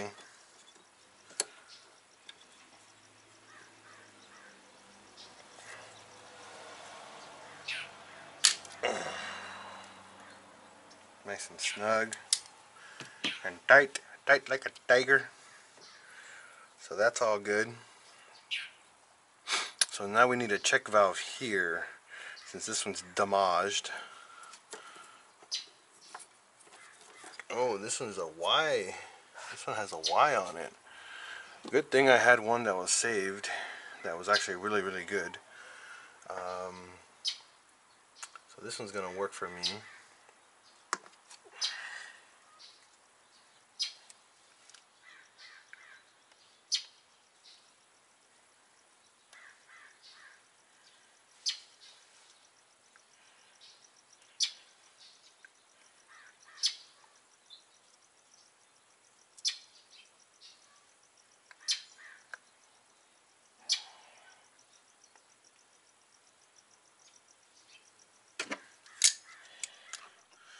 So this check valve right here, where my finger's touching, this is actually a T check valve. So I actually had one spare one that was off of the engine that didn't actually had a plug on it that it wasn't being used for anything. So I'm going to use that one for this one.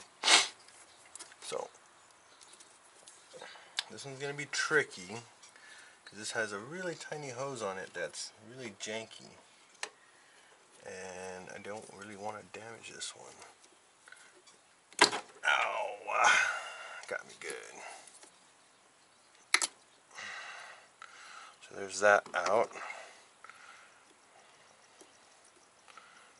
So this one has a little tiny, tiny clamp. I'm probably not going to use a clamp on this one because this one looks like it's got a lot of force. Yep.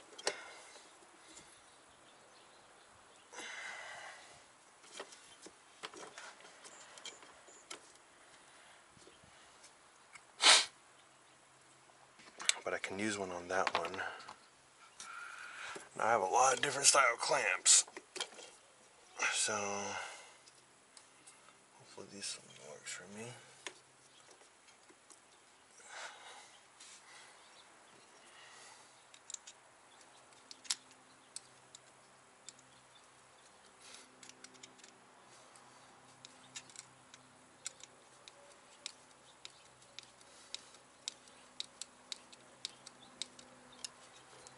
Nice and snug.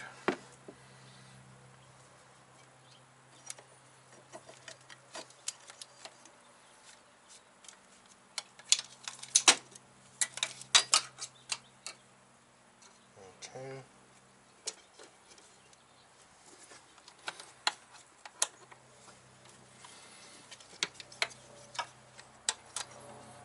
So this one right here got damaged. This one had a T on it, like this.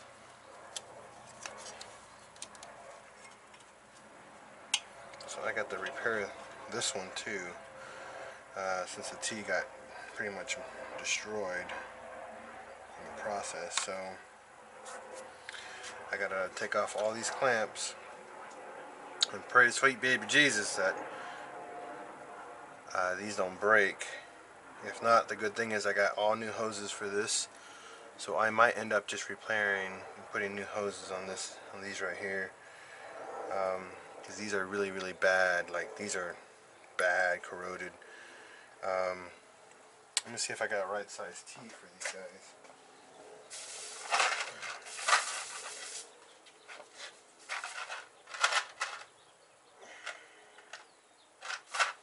So I bought this one right here from Dorman, part number 47349. Uh, this one's pretty cool because you can just cut off the the thickness that you need for the hose and then pop it in. And this will be a much better repair than using those universal white tees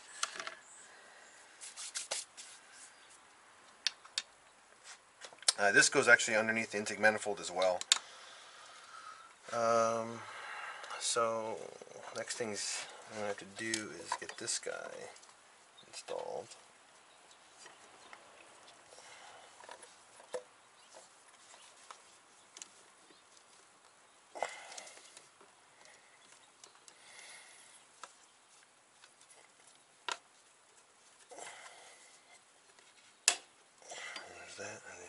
turn this one around.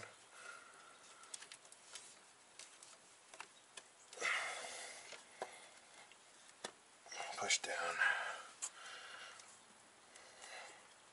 That right there is a fix.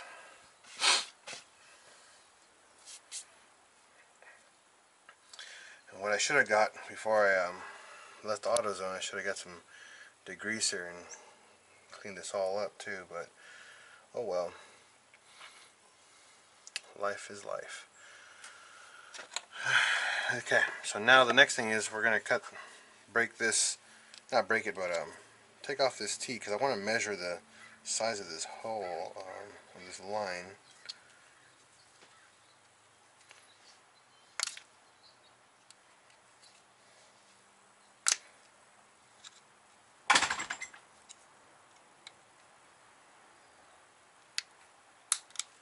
There we go. That's off. Now since this T is broken on the inside, you're going to have to stretch the hose kind of like in a circle. Clean it off so that way you can, once you get that, get a little, get your vice grip here.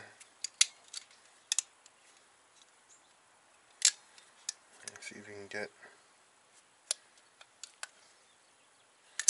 some plastic. Give it a yank. Just like that. And yank that sucker out.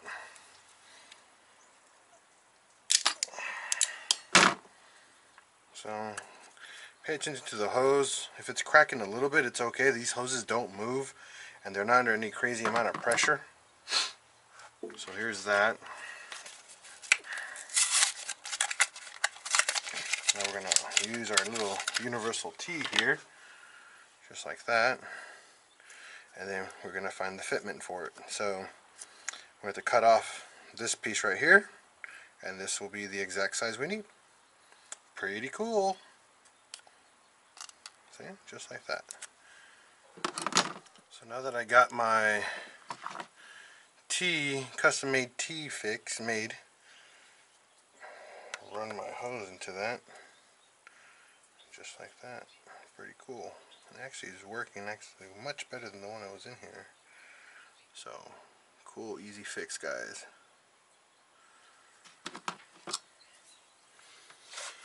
So let's repeat the same process here.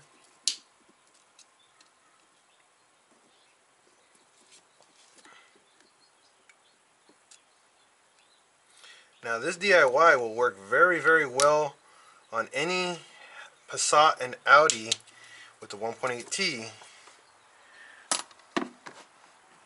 because this is very very they have a very similar a similar longitudinal uh, engine base. So this is a 2003 Passat. So if you guys are watching this and you're like man I wish I could do this in my Audi well guess what? You can. They're pretty much identical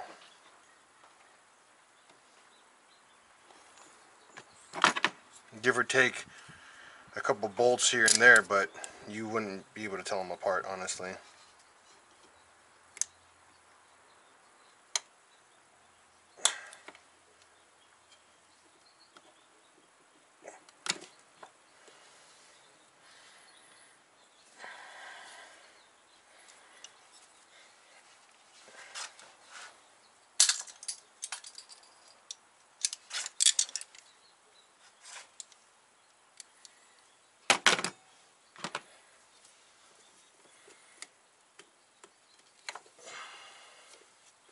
Now this is going to be very tricky because this one seems very brittle. Because This is on a on a plastic line here, so I got to be very cautious. More so than I have been.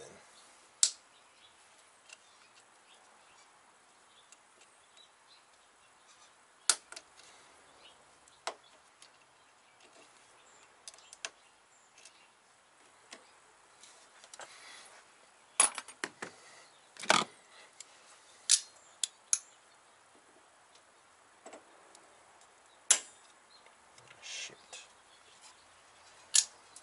I mean, oh no. What I didn't want to happen happened.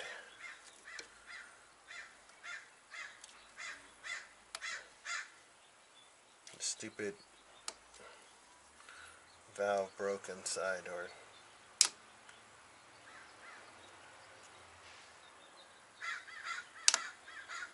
now I gotta try to dig it out without damaging it. Got some nice thin needle nose pliers.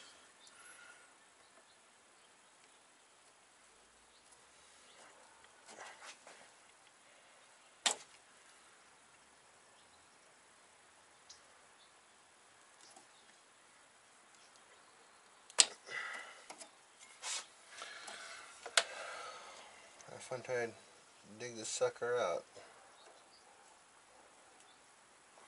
So this is the part where I'm gonna say screw it and we're gonna use some new hose for this one. I know all you guys are thinking, why didn't you just think about that before? Well, sometimes I don't want to think that way. You know?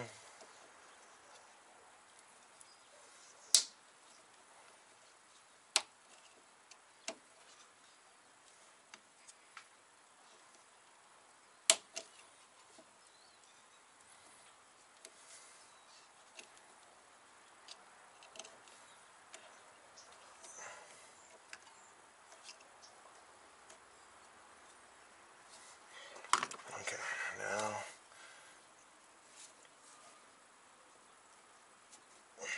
Come on. Alright, let's give myself a break. Because this is going to break. I know it's going to break. It's already wanting to break.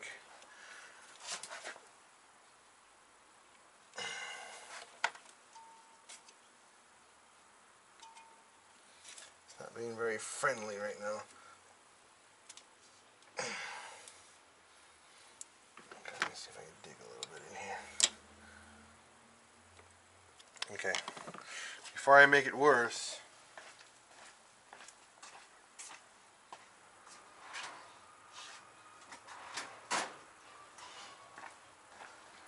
grab a box cutter.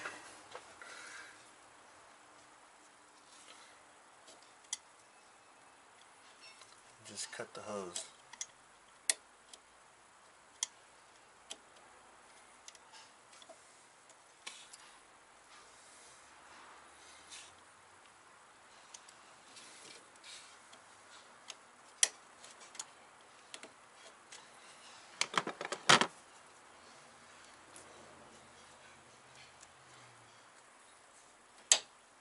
Done. Ah. Now, to get my new hose.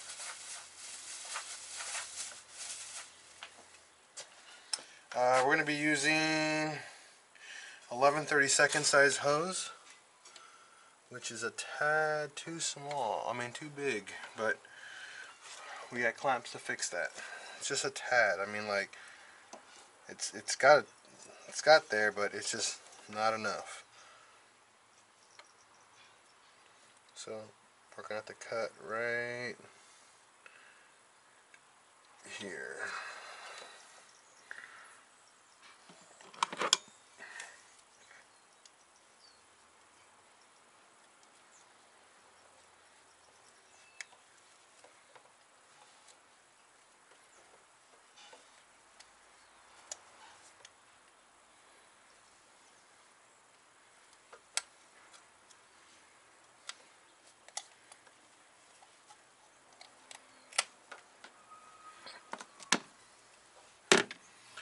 Now that I have this, see if I can use these uh, factory clamps again.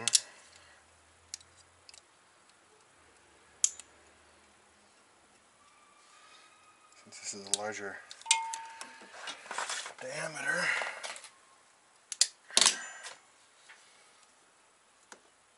Look at that, nice and snug with that new clamp on there.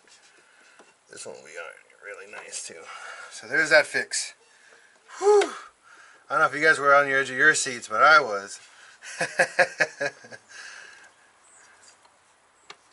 Alright, so that's repaired. This is repaired. I don't even know where vac what, what vacuum line attaches to this one. I know there's one.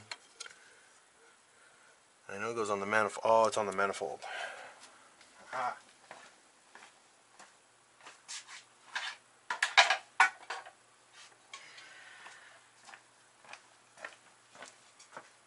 Right here. This one actually attaches to this part of the manifold right here. This little 90 degree. So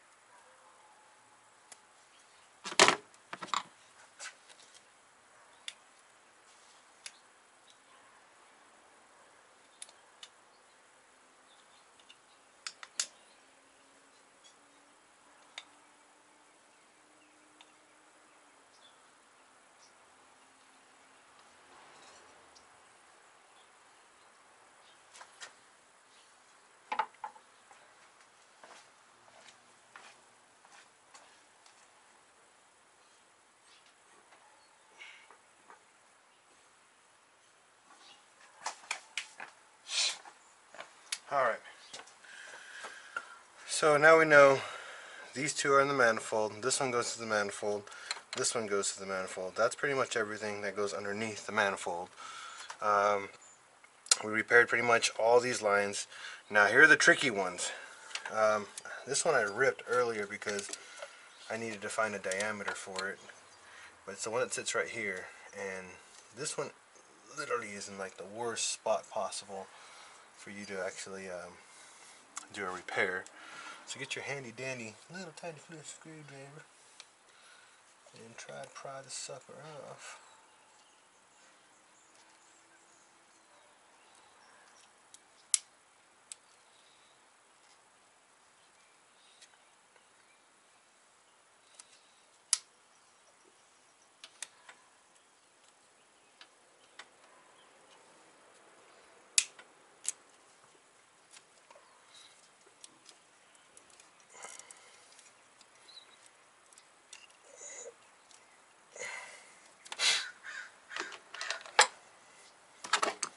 Use your needle nose. The nice thing is this is on a metal line or metal uh, barb so you can actually just not give any poops and you can pry that sucker off. Now this line here uh, went from here to the manifold underneath it. Um,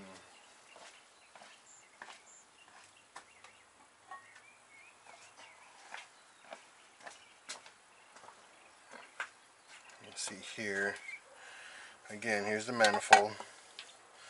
Uh, there's a line here that that one goes to. Um, see right here? That, that vacuum line that I took off from underneath there and goes to here. And then there's a vacuum line from here. This one right here is for the fuel regulator. Uh, it's literally just three inches of line. Then you got that one. See this one I was talking about? That one. That's this one right here. This one goes to here. And you have another one. This one right here. This one goes here, this one goes here. I have one, one odd one. That goes to something somewhere around here. I'll find it right now. Oh, no, no. Okay, so this, this one right here, this 90 degree in the bottom, goes underneath. This one right here goes on here, and right here in the manifold. This little one that's angled is this one right here.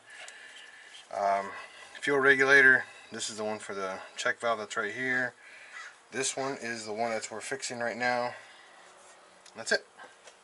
I know it's confusing, but hopefully we can see everything in detail while we put it all back together. So here's this. I'm gonna over lengthen them. Um, I bought five feet of uh, what size? Five and thirty seconds vacuum line, which is just right a thick, uh, right amount of thickness. So pretend the manifold is here.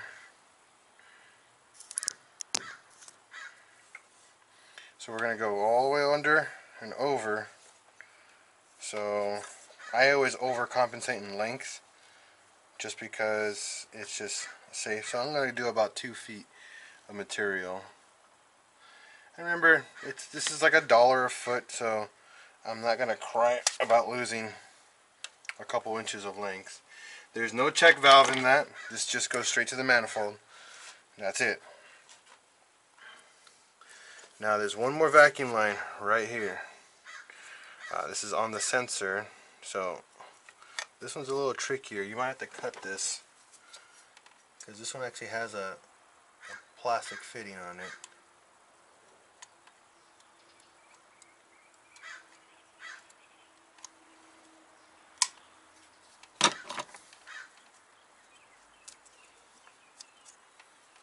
And this one goes to the combi valve,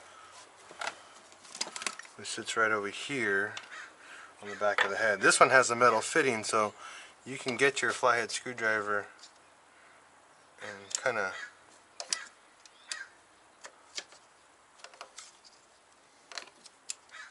pry that sucker off.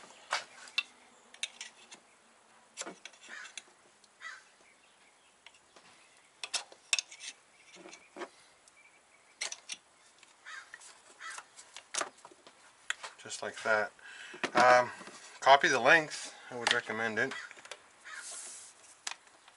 I mean, since it's about the same, so there we are. Look at that, my five feet of hose is the exact amount that I needed. Great. So this one, again, this is smaller than the uh, other one, so I don't really use a clamp on these. If you guys are worried about a clamp, grab a little zip tie, a little tiny zip tie, and zip tie that in place. Zip ties, you'd be nylon can resist heat immensely, so I'm not concerned about it failing.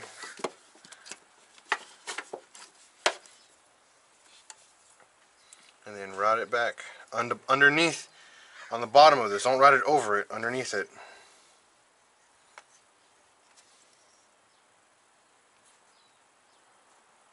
So that's it.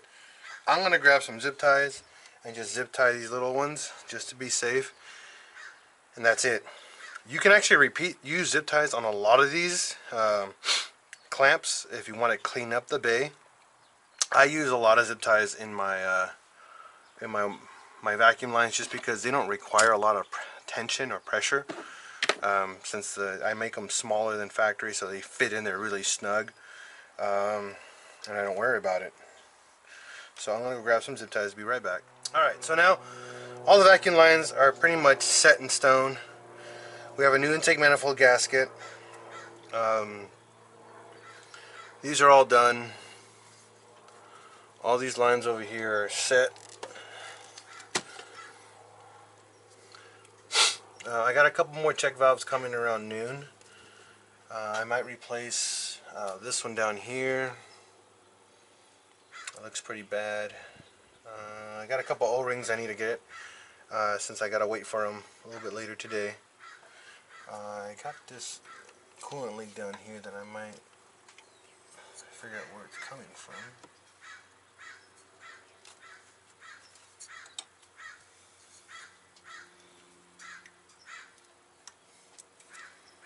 But that's it for the vacuum line assembly down here, which is, you gotta understand, it is disaster. So the next thing we're gonna do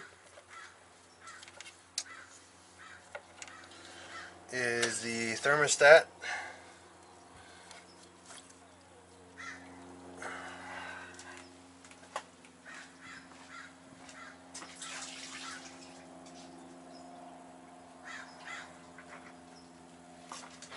And thermostat housing. So I saw I pulled a rag out of there.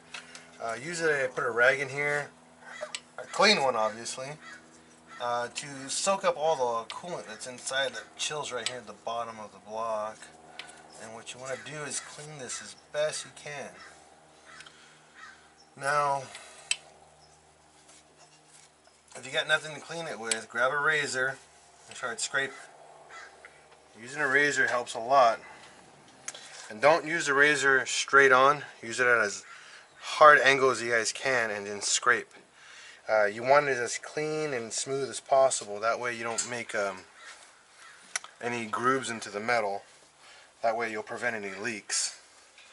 If you're worried about having leaks on here, uh, you can put a tiny little bead of RTV around the actual uh, uh, thermostat housing uh, to prevent any future leaks down the road. But the downside of that is you won't know if you have an O-ring failure. So it kind of goes both ways on that one. So let's see here. I'm gonna grab a razor and start cleaning that. You can see this. That's the thermostat. Um, you'll see here, nice and clean. Now, obviously, I can't get it 100%. In here, you cannot touch that with the razor blade. This is this you clean as best you can with your with your with your rag, and that's it. Then you're gonna mount your thermostat, and then the O-ring sits on top of that, and then the housing. Got it? Now the next thing is your thermostat. Thermostats only go in one way, guys. So, and I'll show you. If I put it in this way, and I put it in this way, which way do you think it might go? Now, usually the deep part always goes into the block. So the thermostat goes in first.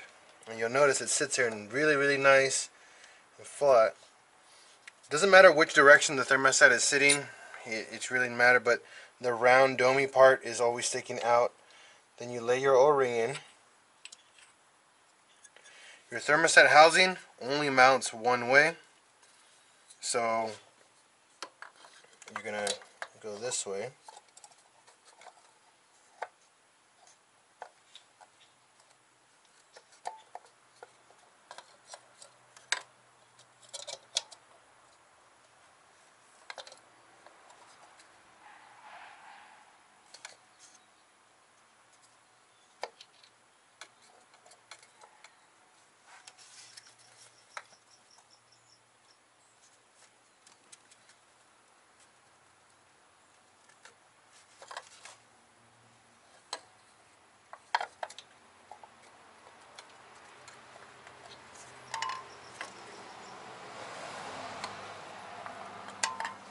on here. Not right now. Let's see.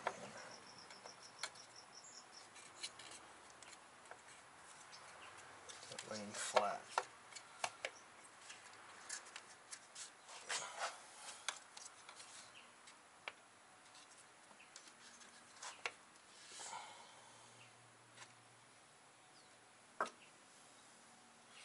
I'm gonna try a different. I'm gonna try my factory thermostat housing really quick. So it is the right part. I just gotta stop being a wimp and man push harder.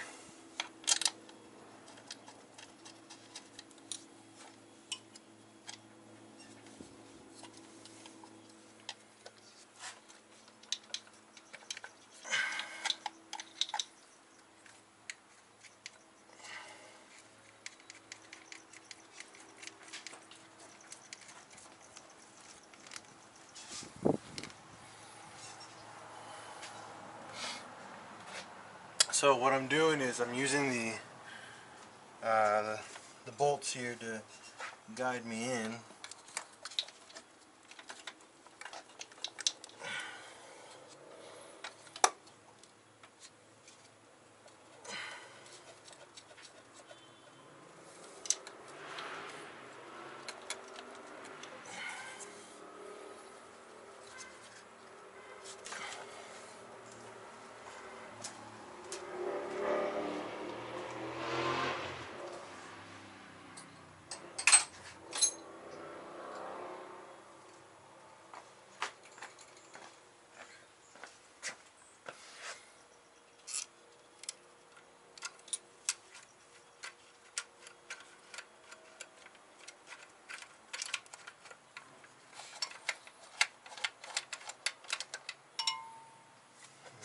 smaller one.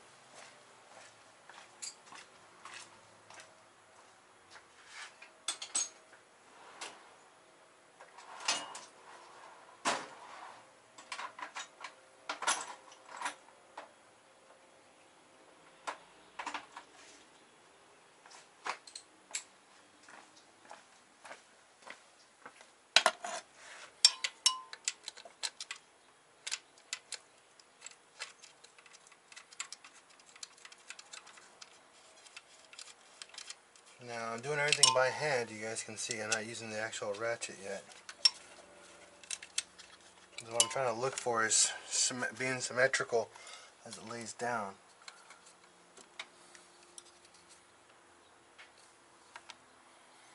If everything looks flat, then use your ratchet and make it hand tight because we got to torque these down.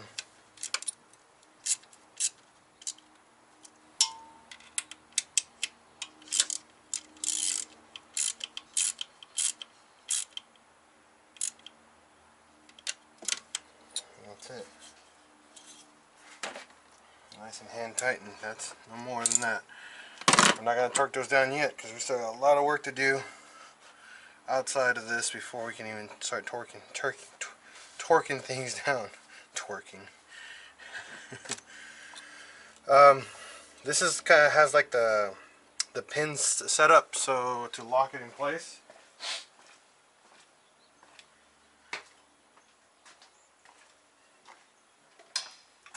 If you guys know what I mean by the pin setup, this guy right here, he's lock them in place. So don't lose any of those if you have any. So now that we got the lower coolant line, I mean the thermostat housing and that, we can actually uh, mount our uh, lower radiator hose, which we got a brand new one.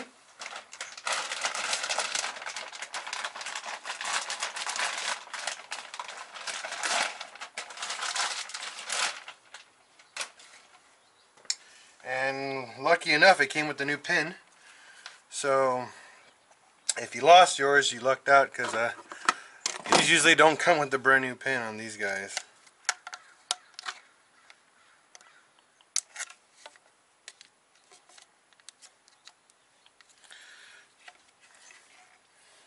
So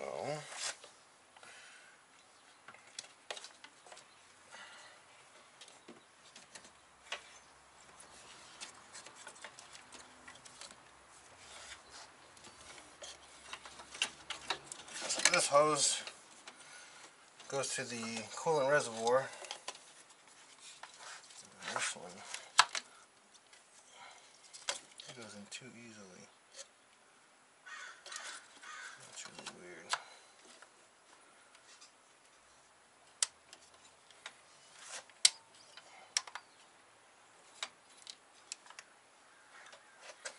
Well, we'll see.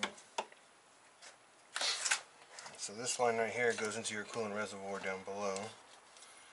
This one right here goes into the lower radiator portion. So there's that. And I'm not feeling this a lot. But it's locked in, so hopefully it doesn't leak. Alright, so that's all taken care of. Now, finally, we can get to the final steps. We're going to put the new clip in. Um, we're going to do the valve cover, intake manifold. We're going to clean this all out. Um,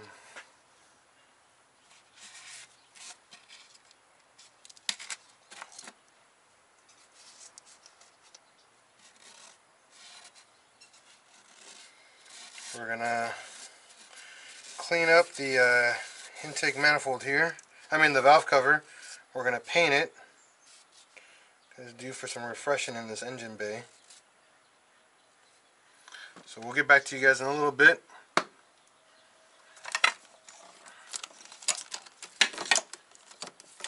Because we still got to do next uh, injectors. We're going to do the new O-rings on them.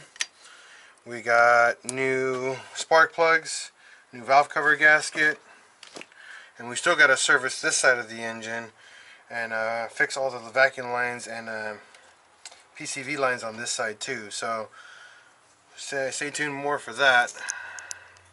If you guys see over here, before I cut you guys off and get back to doing cleaning. The valve cover, I already showed you guys how to do that, how to remove it. But, I didn't show you how to get to these guys. So there's these hard lines. There's 10 millimeter, oh no, 6 millimeter Allens across here. Once you take all those off, you still have to take them off the heat shield. There's a eight, two 8 millimeter bolts here. Once you do that, there's these two um, uh, hoses right here on the combi valve, one upper and lower. You have to break loose the clamps on those. And then maybe you're going to end up breaking the uh, metal line that goes here, which I ended up doing. There's a hard plastic piece that goes here at 90 degree. Um, and you'll see that in the video uh, prior, but there's a metal piece that's cracked already, so I didn't care for breaking it.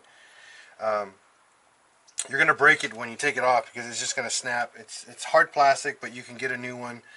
Um, I already ordered my new one, so it won't be here until later today. But because I knew I foresaw that I was gonna break more than what I expected, so that's it. Get some carburetor cleaner and some degreaser and start just spraying down the area and cleaning up your area. That way, when you actually start driving your car again, you have clean areas. So if you do have oil leaks, you can fix them as fast as you can. That way you can find them and detect them faster. Okay, guys? See you guys in a little bit. Peace out. Alright, the rest of my parts came in, so I'm going to show you guys how to do the motor mounts on your 2003 or 2002 to 2005 Audi B5 or Passat B5.5 uh, 1.8T motor mounts. They're very, very simple. Um, number one, you're going to need to jack up your car. Jack it up about two inches. Um, I mean the engine. Jack the engine up about two inches, inch and a half, two inches. But paying attention back here that it does not hit the firewall. You just go up, up, up, and just get it there. Uh, what's going to happen next? There's a 13 millimeter on top and on the bottom. Just take those off. On the top and on the bottom. Then you're gonna grab another 13 millimeter. You got one here and here for the sway bar. There's two of them on the end. What it's gonna do is gonna let you drop the sway bar out of the way, and then you just gotta drop this uh, bracket here. Uh, you can do the other one as well while you're at it.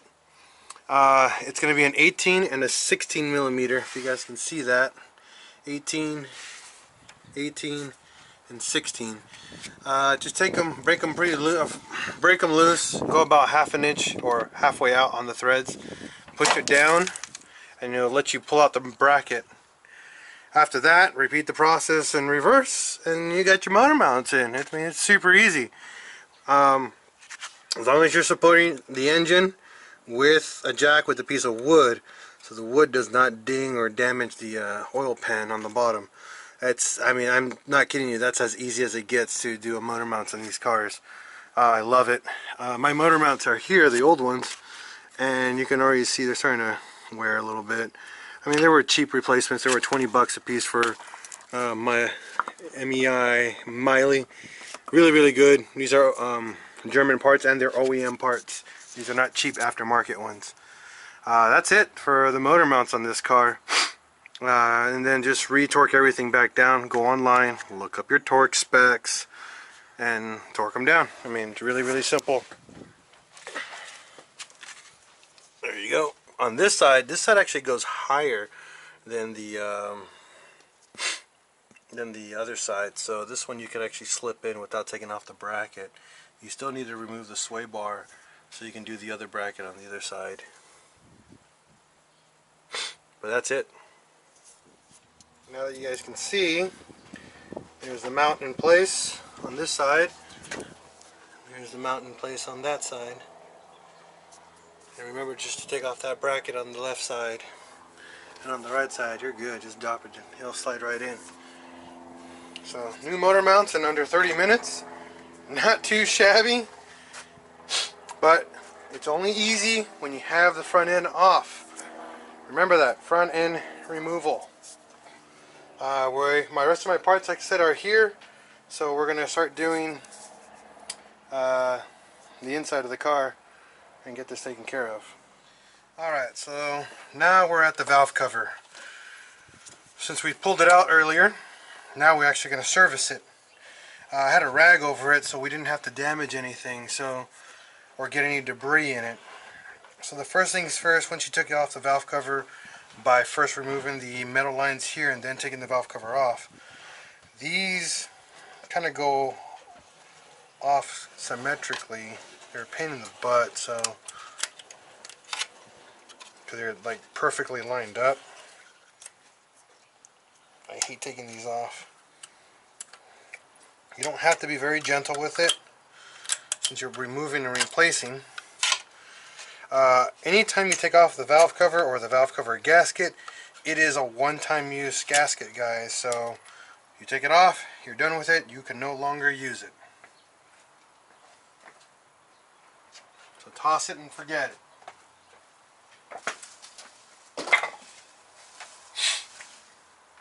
Alright, that's done. Now with the clean rag, go around the seam, cleaning everything. If you see any RTV, like here, here, and over here in these corners, you're going to have to scrape those off before you install your gasket. Uh, the reason being, because those, you have to put RTV in those corners so it doesn't leak. Uh, I don't know where my blade went. There it is.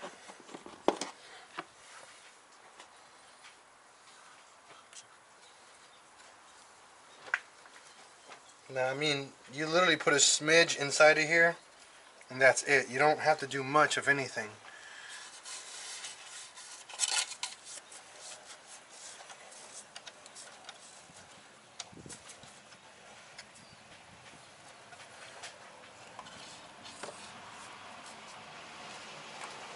Just gotta clean everything up and scrape off the old stuff if you can.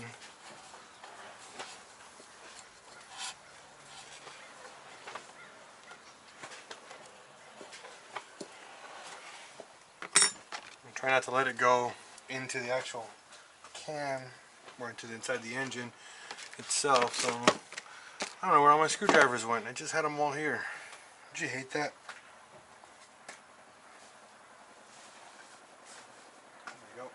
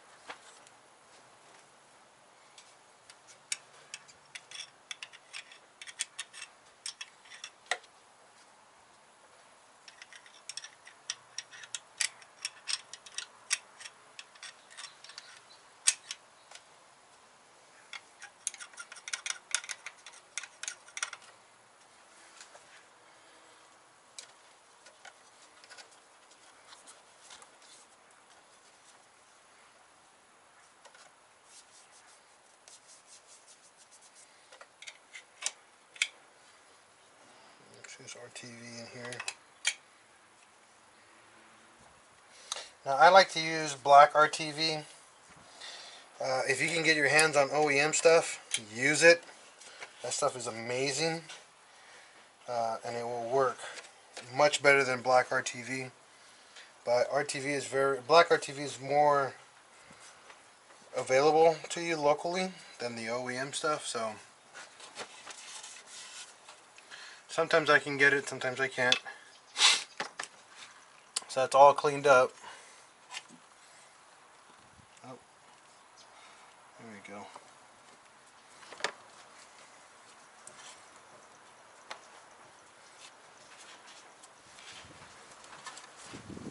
All good. So now, with all that cleaned up, rub your finger against that. See, there's like a little layer right there.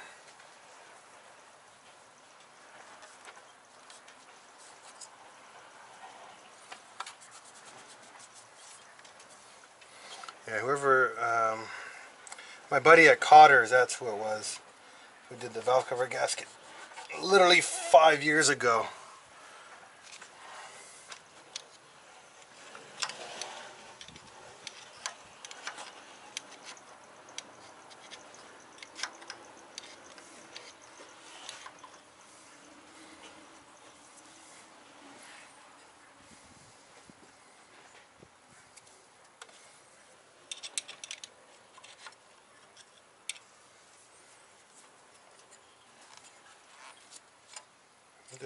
Job too. Can't argue that. Alright. So, RTV locations. Here, here, here, this corner, and in the little moon here. And when I mean just dab it, you just grab it and dab it like that. You don't you don't like pour it on there. You just get your finger with it and just smear it in those corners. That's all you need to do. Don't try to get all crazy and put a lot and make it all pretty. Doesn't need to be that way. It just needs to be slapped in there a little bit and that's it.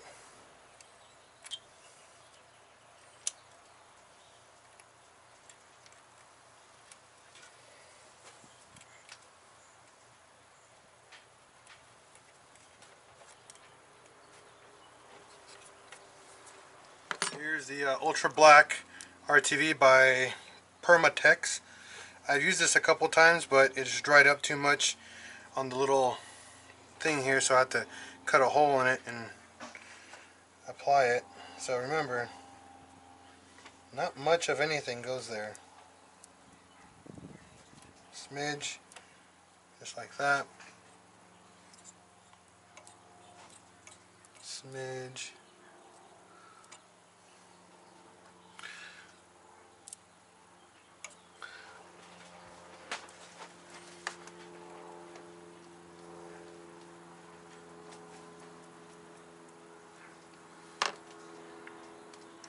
There's a little seal down here. This one's a tricky one. Since it's smooth, you want to cover the whole surface with a very thin layer. Just like that.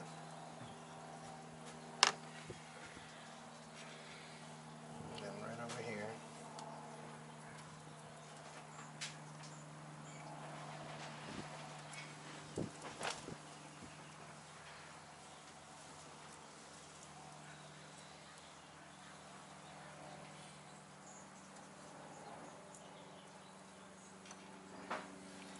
There's that. Clean your hand. One last thing is clean the tube seals right here. Just the just the outer rings right here. There's not much to these guys. That's it.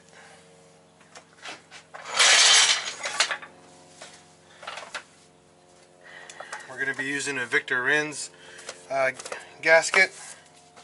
Why you say Victor Reinz? Because these are OEM suppliers for Volkswagen. These are probably the best gaskets you can get for your money.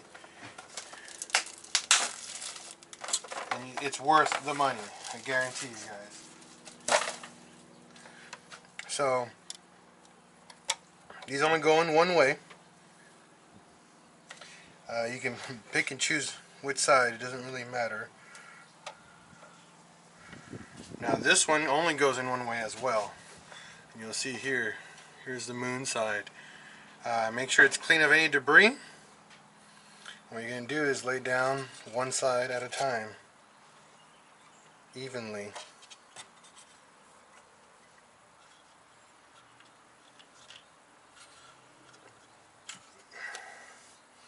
And then you're going to push it in. Push it down. Make sure everything's settled. And push it in the right corners where you put that RTV. Make sure that RTV is doing its job and setting. And then that's it. Get your valve cover, slap it on. We just painted it so it's going to look pretty.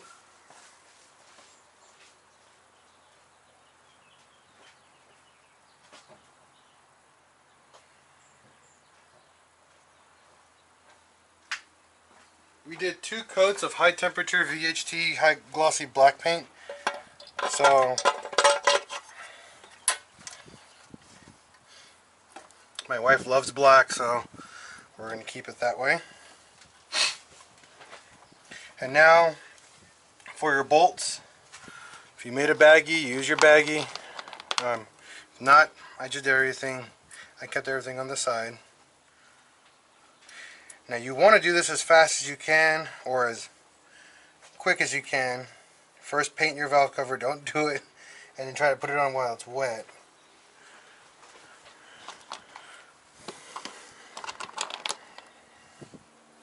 Remember to load up all your nuts uh, by hand. Don't try to put these on immediately, just hand thread them. Make sure they're on correctly.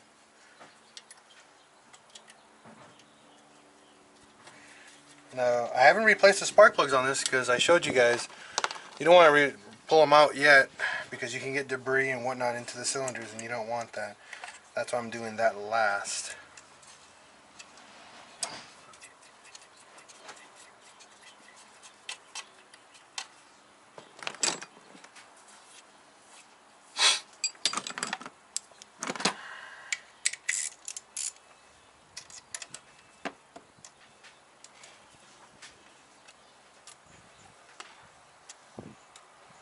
Now I'm only going a couple turns just so I can feel snug somewhere but we're not tightening them we're just getting them so the gasket can sit down and then we're actually going to do a proper sequence on them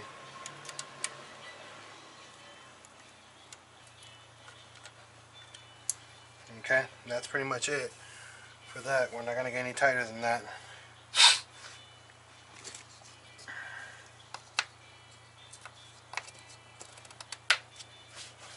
think she's looking pretty already. I know I should have sand down the valve cover, but believe me, it's a huge upgrade from what it was. So I'm not really complaining. I mean, this engine bay, if you guys saw earlier in the beginning of the video, was pretty gross. So this is already a gigantic upgrade for it. So now I gotta go get my deep socket.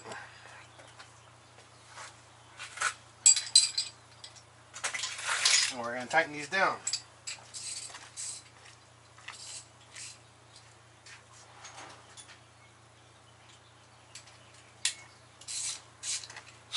Now these don't go down by very tight, usually about five to eight foot pounds. And what you want to do is kind of crisscross them. So start on one end, work your way across, the other one, work your way across like that. So once you feel it go down, go to the next one, go to the next one, and work your way over.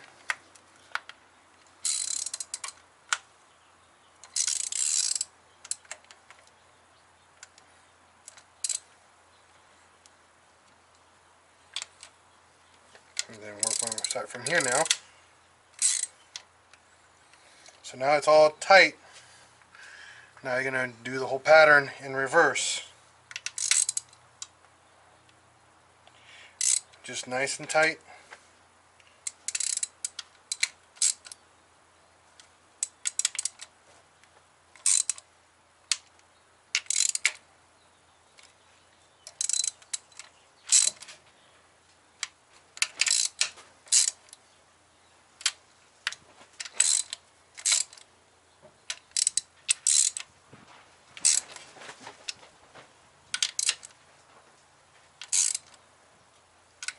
To verify everything, go across like this. And not go too tight. Just These gaskets don't go on very tight.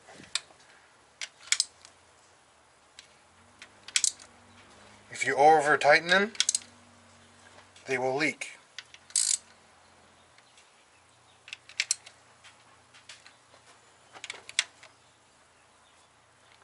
That's it. Cover is done. Let that sit. We're going to pull out the spark plugs and start doing the spark plugs now. Uh, since we're going with OEM spec plugs, I'm not going to have to change the, I'm not going to gap them. You just take them out, pop them in. Uh, I'm using uh, NGK laser double platinums. You cannot gap those anyways, even if you wanted to. So, just FYI.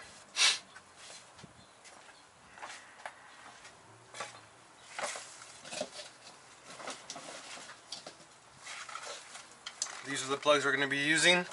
Part number is uh, 6458 or PFR6Q.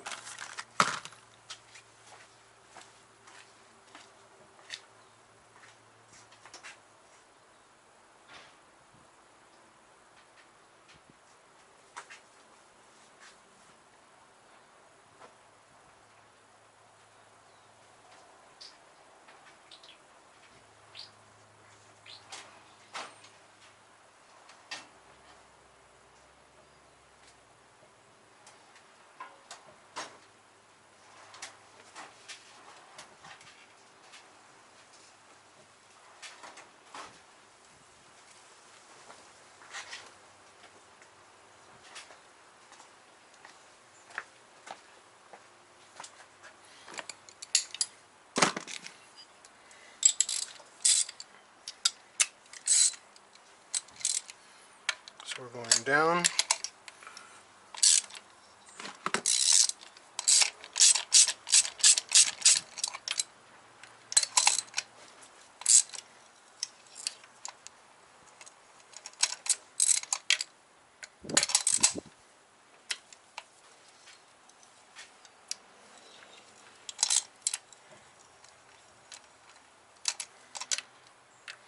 I like to do a spark plug change when the engine's actually a little warm. I personally think it's a safer process, but since this car's been down now for a week, this thing needs to get up and running ASAP.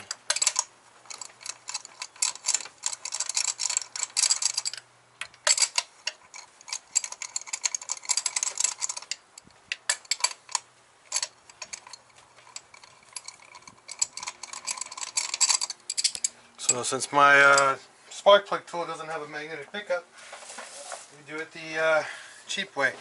Get a rubber hose, go all the way down,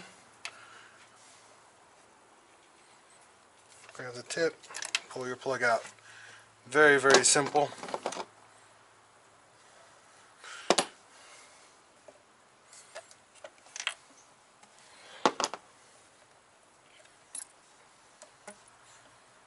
Man, yeah, these plugs were due.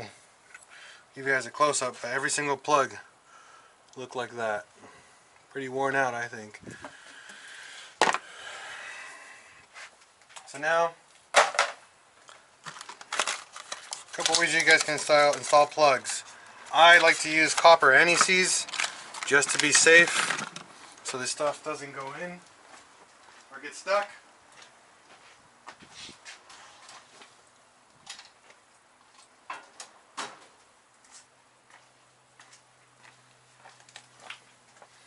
Permatex anti-seize. I love copper uh, anti-seize, so I use this stuff religiously on spark plugs, and this stuff lasts forever. I've had this one tube for almost five years now. And just literally just dab a smidge in there. That's pretty much it, and then dump your plug down.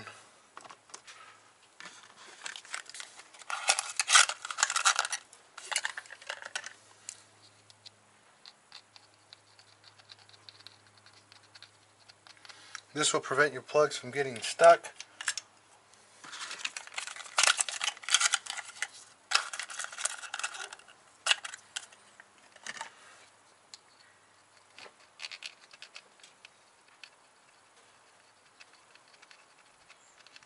And provide a really good contact surface as well. So I read. Read. Just to give you guys a quick comparison of the spark plugs. I mean, they've been in there for a minute, right?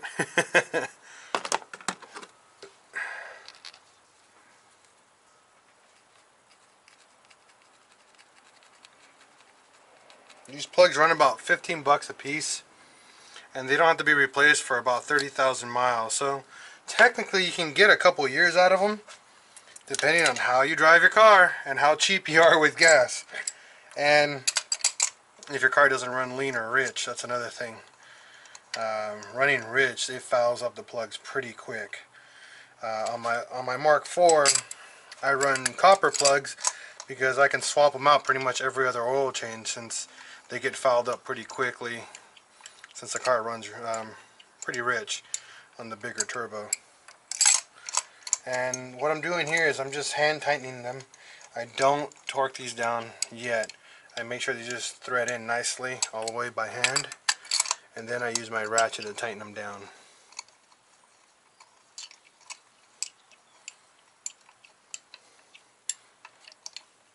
I use my torque uh, torque spec procedure which is tight and then a, a quarter turn or up to a two inch turn pretty much. So start from the first from cylinder number four. So once you feel it actually hit the bottom right there and then I usually about quarter turn and that's it no more. You'll feel the plug hit the bottom. And then about an inch to two inches no more. Not like a quarter turn it's more like a eighth of a turn. Okay and then that's it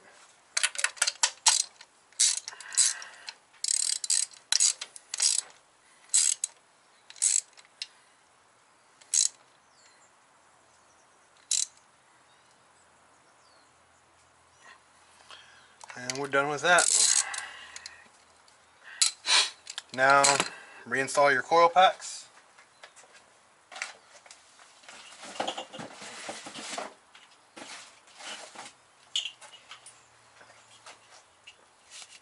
Clean them off if you can.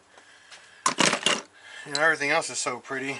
Might as well start prettying everything up.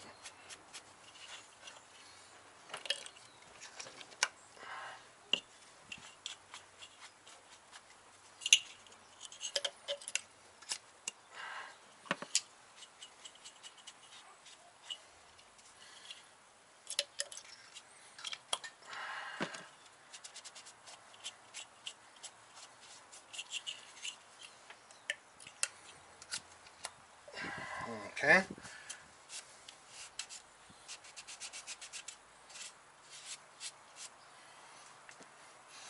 Is now valve cover, spark plugs, and coil packs. Done on this portion. Now, since um, we're getting ready for the rest of this, all this back here is super grimy and dirty, so I don't know if I'm going to have an oil leak down the road. Personally, clean it up with some um, carb cleaner get that all cleaned out that way when you start driving it and you see some new oil maybe you know where it's coming from. Maybe a bolt got loose or something got you know just damaged or something happened. At least you can figure it out.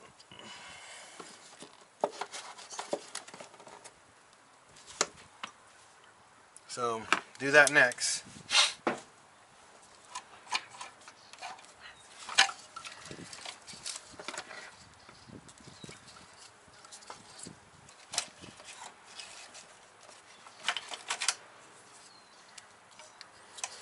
Now I painted this right here, hopefully I didn't paint that surface because that's a ground surface for the wiring.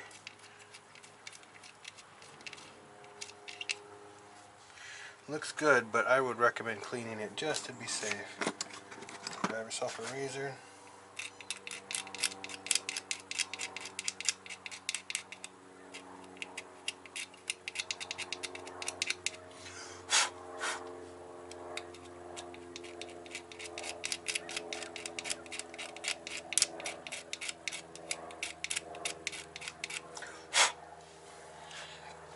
Make sure the bolt is cleaned up as well underneath.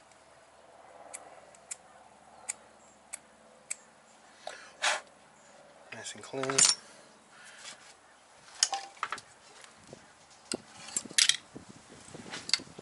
So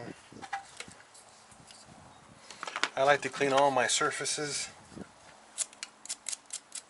because let's assume you put everything together and You turn on the car and nothing works. At least you know the electrical is taken care of.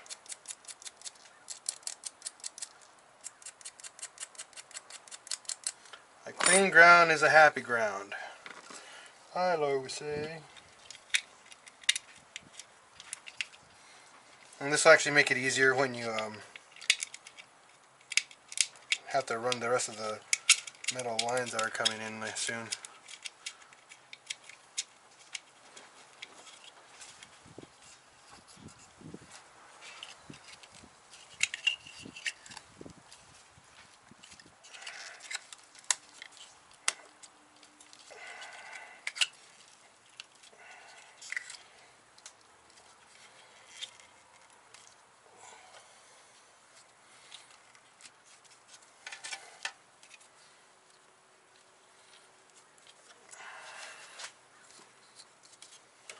Okay. That's looking really good. I mean, I would probably clean this up later down the road, but I'm not going to do that today. Alright, so we got some new parts. The hockey puck that goes right here, or right here, somewhere around here. Uh, I got that replaced. We got this new white pipe that's coming in right now. Um, yeah, throw away these plugs. Get this stuff out of the way clean my work area up.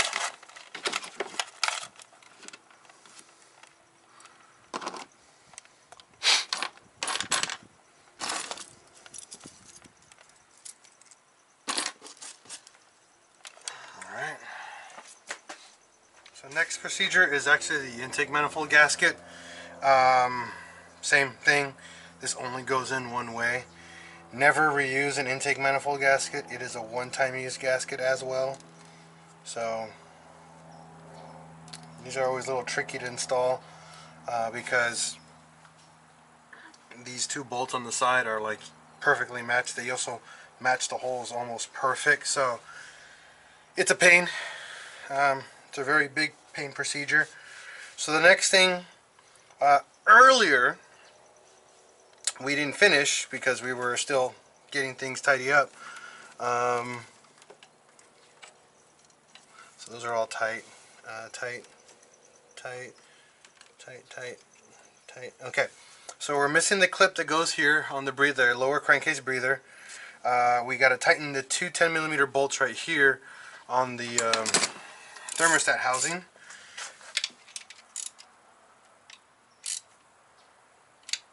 These don't go on very tight.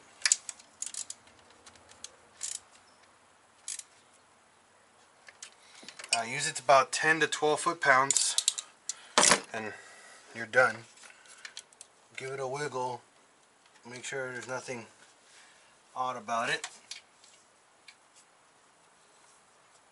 If it goes in there snug, you're good.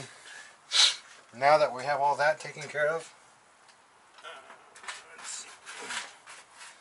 uh, start putting your motor mount bolts, uh, nuts back on.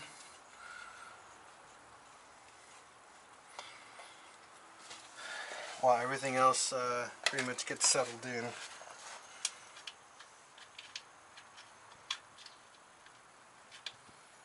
Uh, pretty soon we're going to start, uh, we're going to do a turbo swap on this car. Um, probably a couple months down the road. We're going to go to a K04. Uh, just because it's not smart to go to a stock turbo. K04 with slightly bigger injectors. We're not going to go crazy. Just want something a little bit fun to drive for my wife. Because the Mark II is what's going to be crazy. That's her car.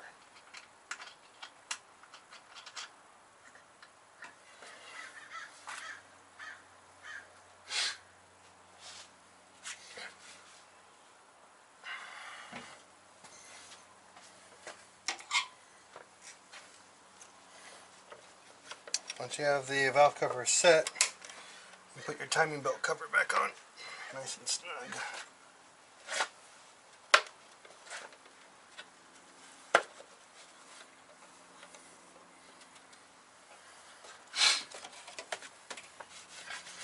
Getting close to getting this thing done. Uh, looks like I'm running out of recording time, so I have to unload all the videos and then reload more. so we can record more. Uh, we're gonna get ready to button up in then a little bit.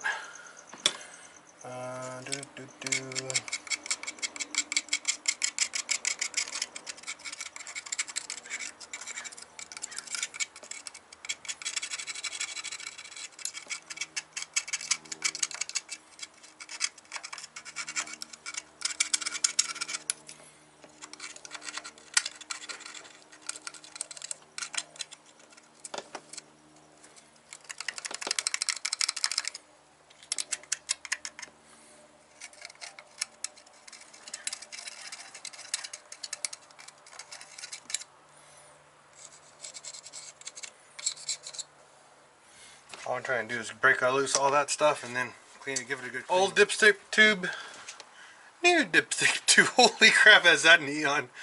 Oh man. So, yeah, I mean, it's easy. Just grab it, yank it, pull it out. Every time you take out the manifold or you got to work on something, just swap out this tube. These break all the time.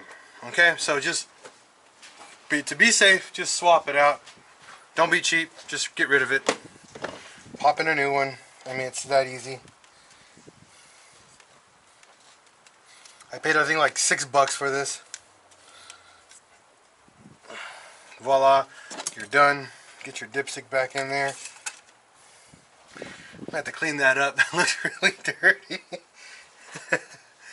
but yeah, new dipstick is like, wow.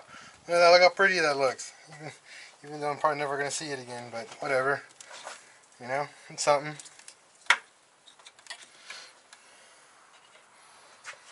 So trash, trash, trash.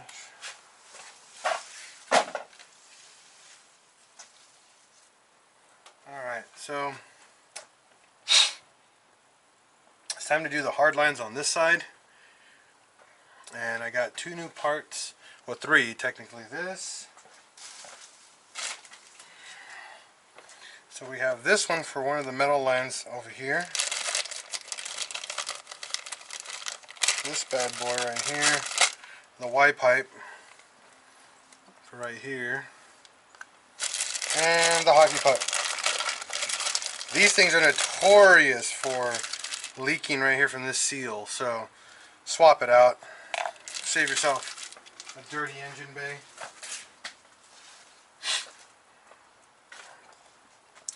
So now we need one, two, three clamps. And then this one goes on this side. Just like that. So now that we have this all done, we can actually route our this hose right here, the one we had out here earlier.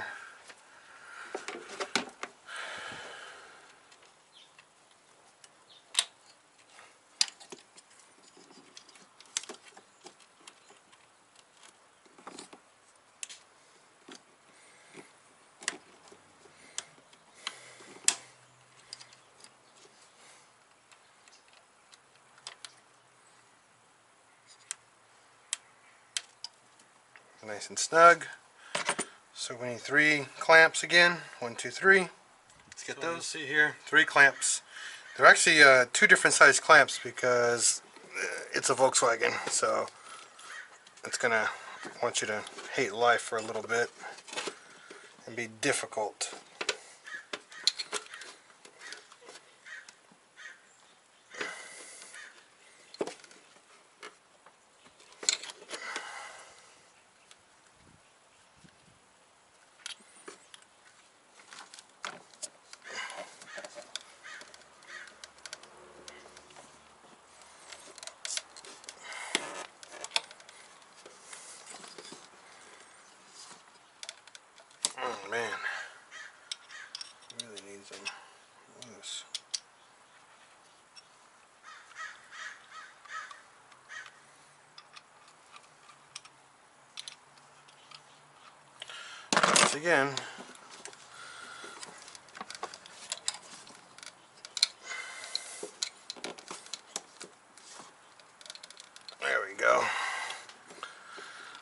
This is brand new rubber, so it's nice and flexible.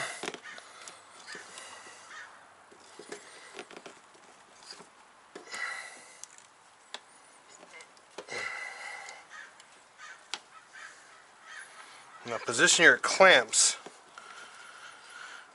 where they're easy to get to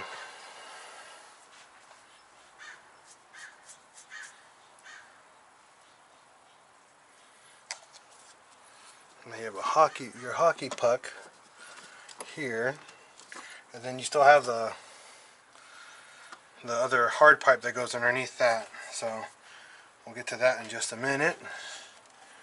But I mean, it's already looking delicious and very nice in here. You know, with good repairs and not going cheap on stuff.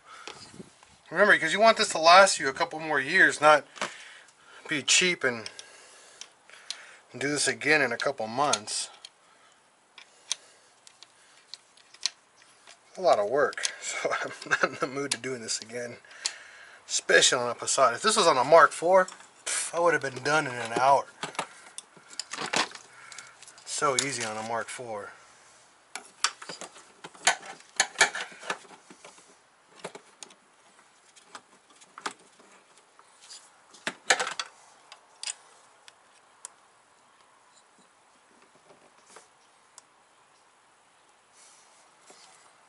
Remember everyone, this DIY works on Audis and Volkswagens uh, with longitudinal uh, motors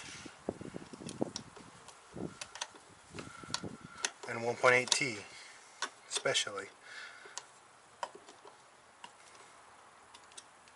Nice and snug.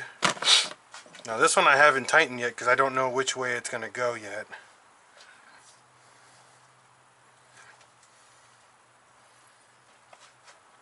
And then keeping track of everything looks good. Now let's get the rest of the parts that we need. This is the hard pipe. We just gave it a cool little coat of paint, matching paint.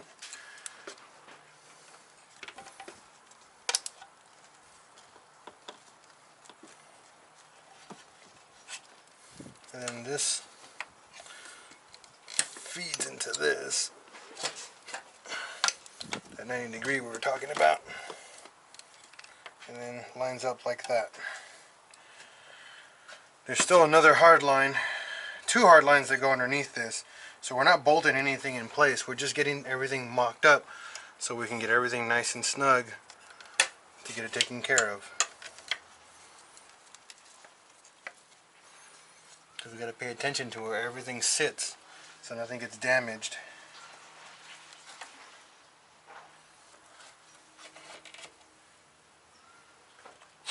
I mean, it's looking really good so far. Everything is uh, lining up, going in into place without giving us huge headaches.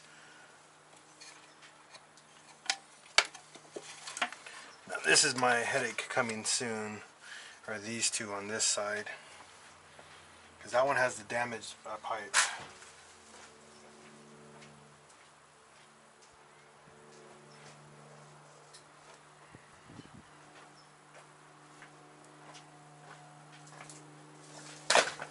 This is the one we're talking about here. Um, this one goes here, goes underneath this one, and lines up.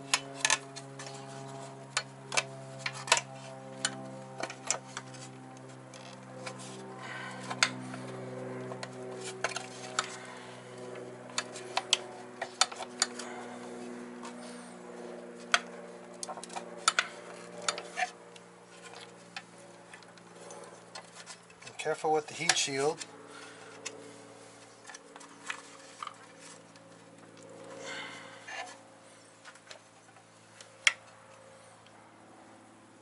Now, to prevent any damage, try to get stuff hand like tightened in place.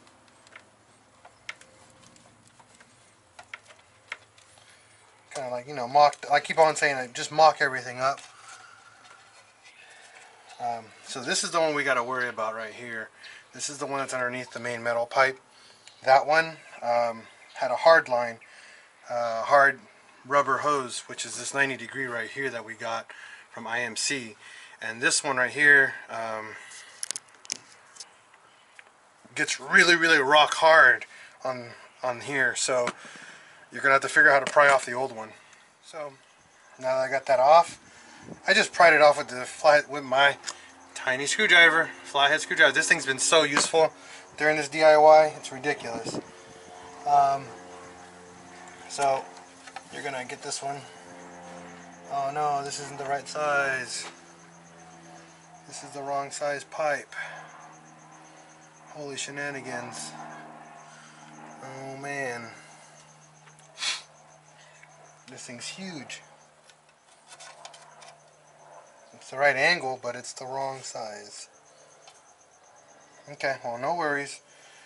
I'll figure out something in my in my handy box right now. If not, I'll take the pipe with me and figure out something when I'm over there. Well, that's the 90 degree you got to worry about down the road. Um, right here is a T-fitting that broke off, so we're going to fix this. Because that's a vacuum line we got to fix, and then there's another vacuum line right here that we need to fix too. There's a check valve that failed on us. So now we got to remember what direction this is. And these have arrows on it to, to the motor, so you want to match that up.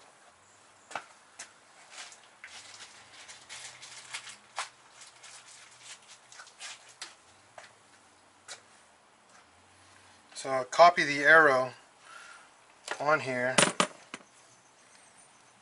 That way everything gets done correctly.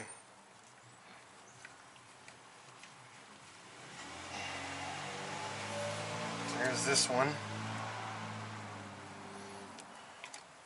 And then this 90 degrees what goes into here.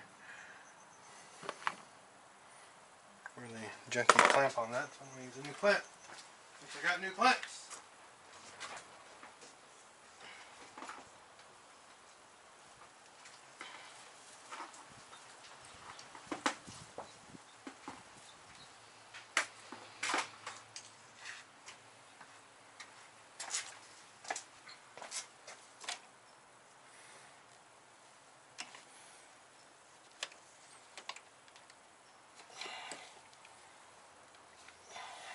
This car running like I just bought it again. So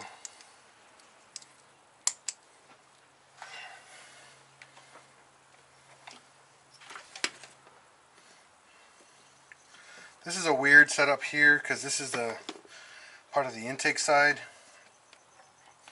I had to jerry rig my setup here because I'm going to have to figure out a better routing system in a little bit um, so I can route all this correctly. So you're going to need to bolt down all your stuff here. Uh, remember where you put all your bolts at.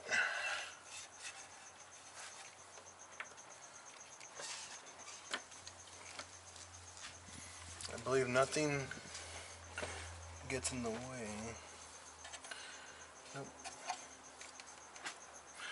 Before you do that, I probably suggest tightening down the harder to reach ones.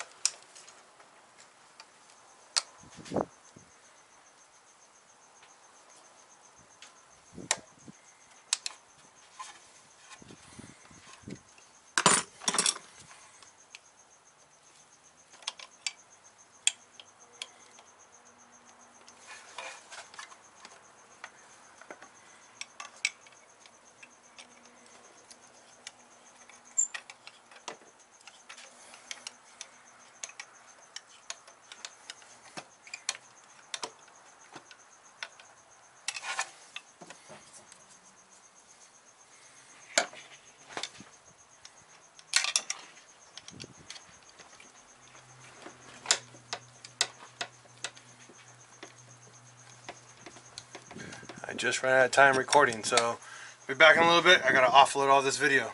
Alright, so we're here now. Moment of truth. Intake manifold. Nicely painted, glossy black. I'm gonna like it. Um, remember your vacuum lines that you added and zip tied. So you have the ones down below. You have the ones that we repaired and this one that goes across. So remember where everything is going because you don't want to lose them.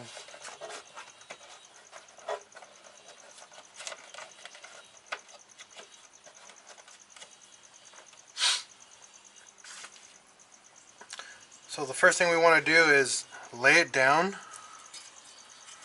And we're not going to actually uh, mount it or bolt it in because we need to have some wiggle room. We need the wiggle room so it can actually um.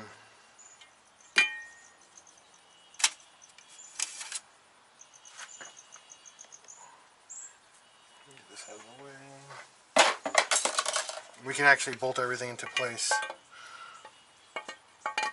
So all you want to do is lay the manifold in place. That's it. Now remember the tube that we just installed. There's a bracket that goes across. Remember guys? This bracket goes underneath it and sits on top. So you gotta remember that too. It's pretty important.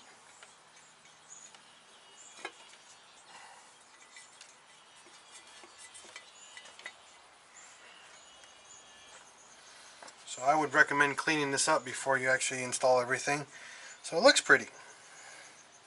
So now we're now to routing the things that we completely took off. This vacuum line here is for the fuel regulator, which we haven't gotten to yet. Uh, this bracket, you actually have to put the dipstick together and everything and dump it all together with the manifold. It's kind of weird. Um, remember these two vacuum lines on this side, the ones from the suction pump and the one down below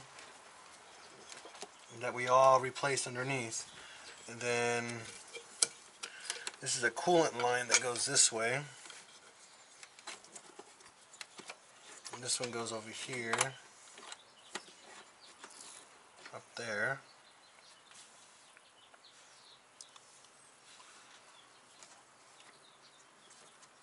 So that's all good. We don't need to worry about that or this. Remember this one, this is that vacuum line that we swapped out with that new check valve. So that looks all nice and cozy there. So we got the new coolant, uh, not new, but yeah, the, the hard coolant pipe that goes on top. We haven't gotten to that yet because we need to make sure everything underneath the manifold is bolted into place. So you get your little baggie your bolts and you get to work. Remember, underneath was three 10 millimeter bolts. So one, two,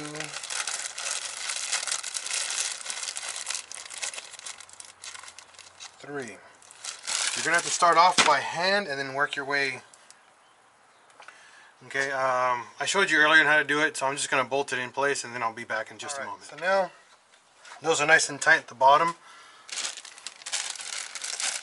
You're gonna use that big Allen bolt that was on the side that actually holds a bracket right here and that's actually what lines up your your manifold correctly now you're just going to hand tighten that down because we still have to get everything bolted in to the manifold but we're not going to do that yet because we want to make sure underneath uh, if you remember there was that one hose it's a 90 degree that we had to fix with a T we got to push that in nice and Oh crap.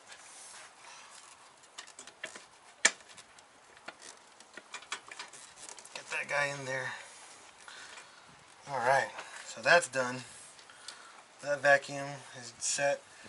There's no more underneath except for that one straight down. Everything else is on the side of the manifold and on these two fittings right here. So we're going to need two clamps here for these two hoses.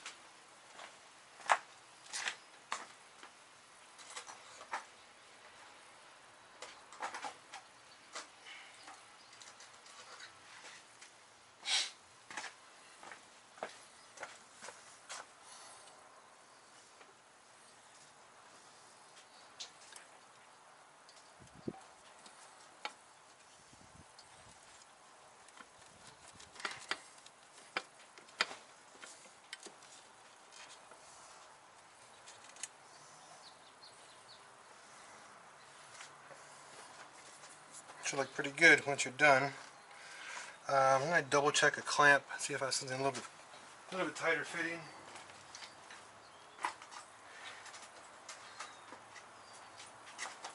don't want to use a big clamp because things don't look as nice. And since we put all this effort into painting, why not make it look good? You know what I mean?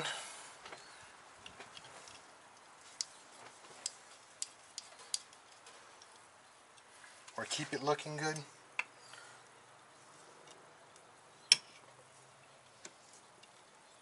see if I can get this one in there with that clamp on it.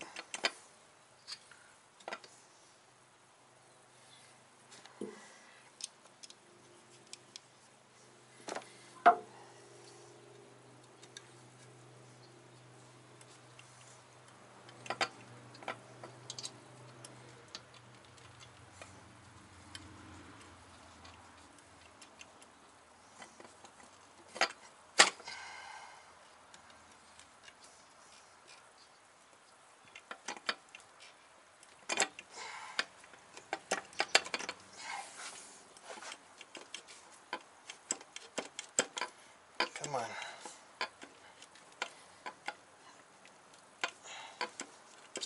She fits. All right.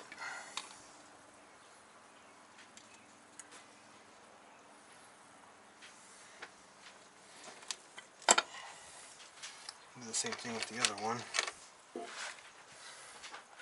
I like using slightly smaller clamps or undersized just because it just looks cleaner. You know, if you have, if you can, do it. If you can't, obviously, do it whatever way you can. So like I just un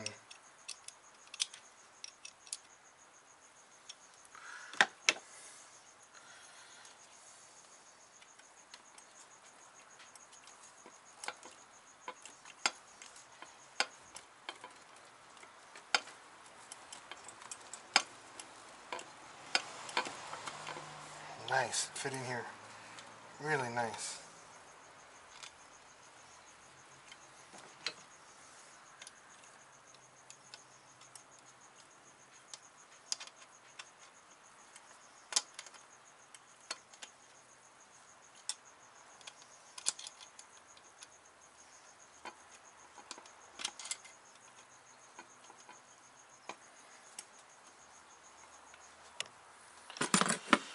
That's done.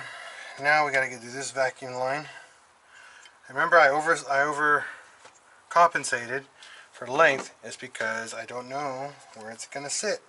So looks like we're gonna sit right here. Just like that. So just a little bit longer than normal. Cut it, get that out of the way. Done. All nice and tight in there. Um, this vacuum line is already mounted and I'm not concerned for it. This is the diverter valve vacuum line. Nice and out of the way. This vacuum line over here is the combi valve and we made all, we did all that earlier in the video. So we got these done. These right here, this one's still loose.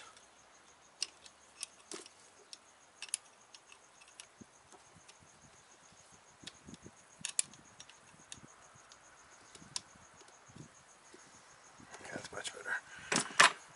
And we got a clamp here for the hose. Nice and tight down here, nice and tight here.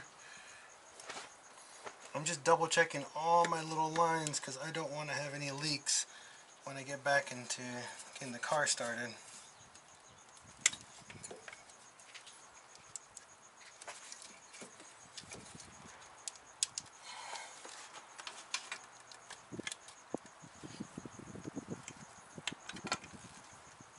Okay, so that looks all good.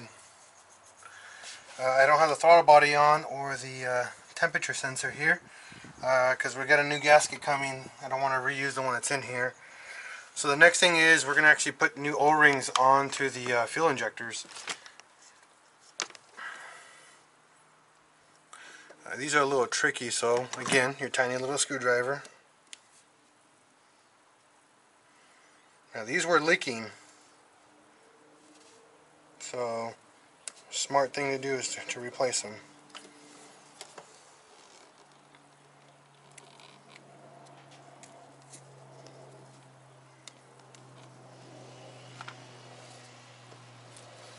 If you see some buildup of oil, which I do, do them good cleaning. That way the O-ring will seat in here nicely and not leak again. So that one had a leak.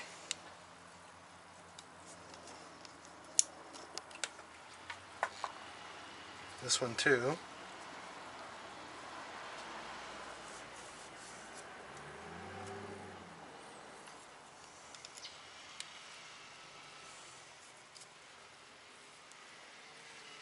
Now, if you want to be very thorough, I would pull out the injectors as well, which I'm going to do right now. I'm going to swap them out with uh, new O-rings in there as well. Uh, the injectors are really simple. They're held together with this little clip right here. And it's just literally just pry off. Yep.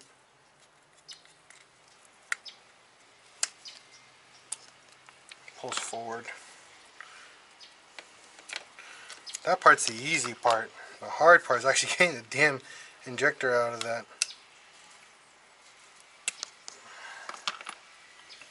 Out of the rail itself. Uh, since I have no fuel in my lines, I'm actually going to take out, just in case there is, but I don't think there is any fuel. No.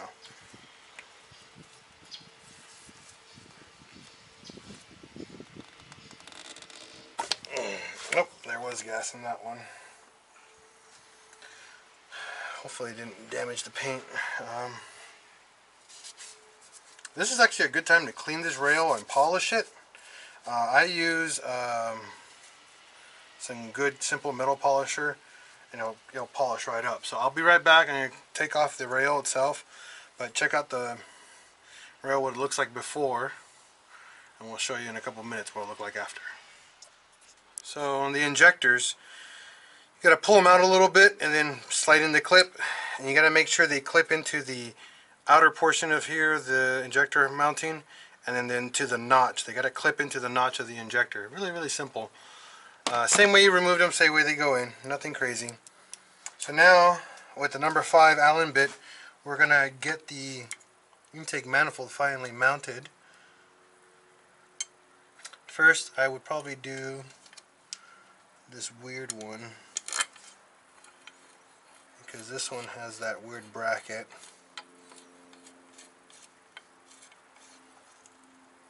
now remember you don't want to put it on there snug. Just get them started.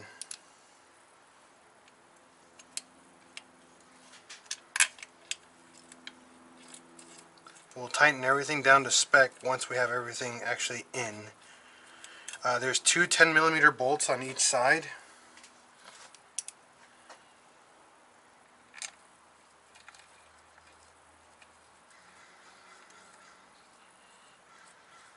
So get that going.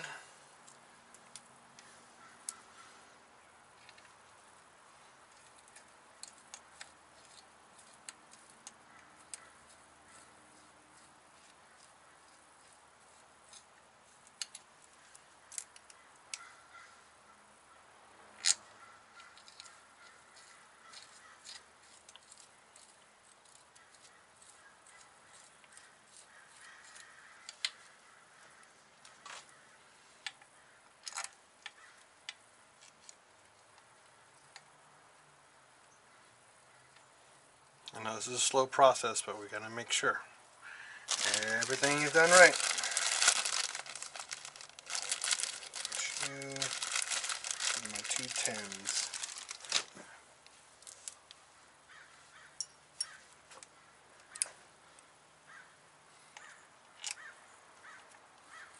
Now the tens are gonna be a little tricky, mainly because you gotta get them in there by hand. Have no way to like magnetize them to, so they don't fall.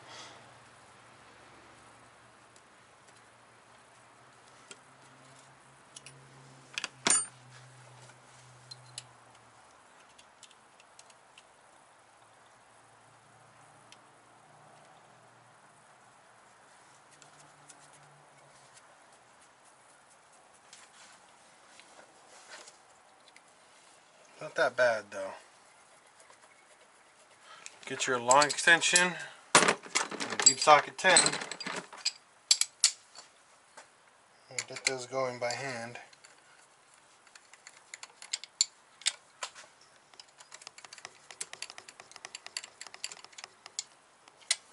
Okay, now that's all hand tightened.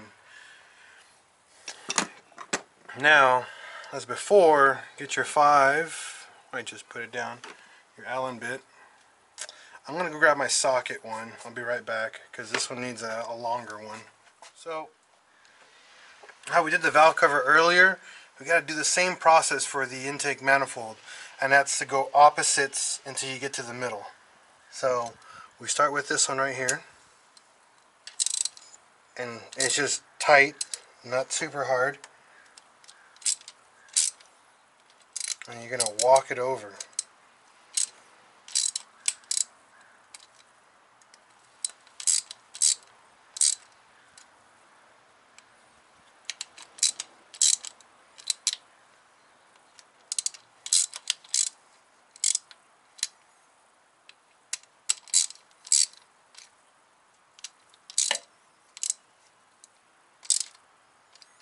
And then you're gonna get your 10.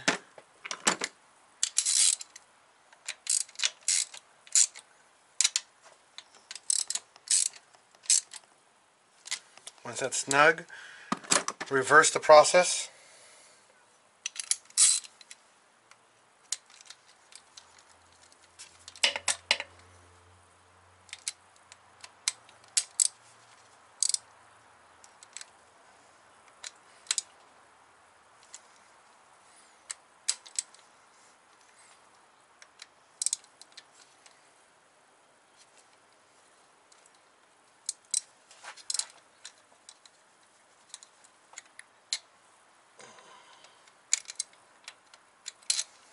This one's a little, it's got gunk in there or something. Won't let me go all the way down. There we go.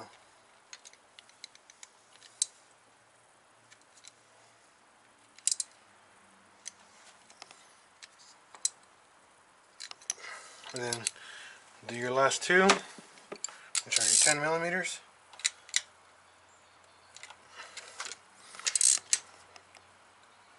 and you're done. Okay?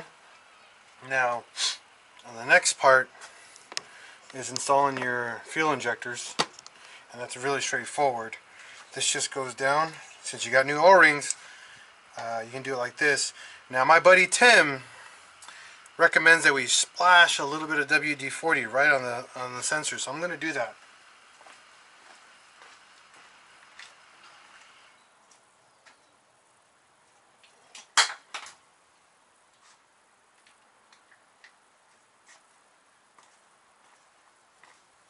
Now he says not to splat, not to spray it, but to put it on your hands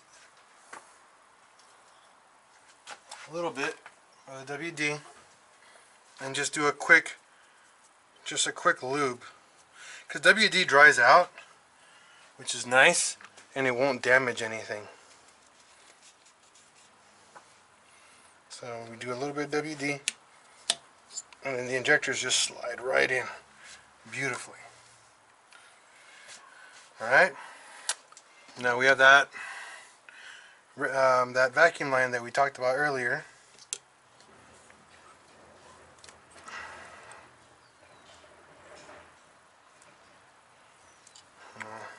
Right there. It's looking really good already. Now the next thing is we got to get that hard line that goes across. Oh no, sorry. Before we do the hard line, we got to put our wiring back in. This is really simple. You just should just clip right into place.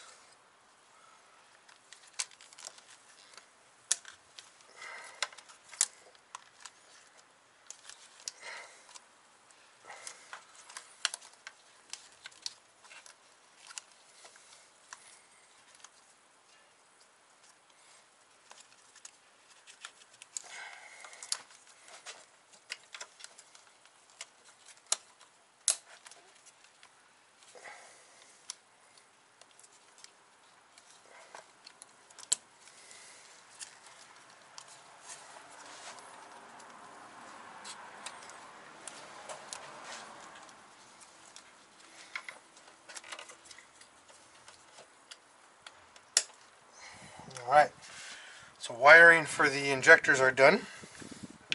And you notice I haven't bolted anything down yet because I haven't gotten to that point yet because we still have one more line that has to be uh, metal line that goes over this. So let's go grab that uh, hard line that goes on top. Uh, what you can do, uh, you can put the fuel line, you can just put it on.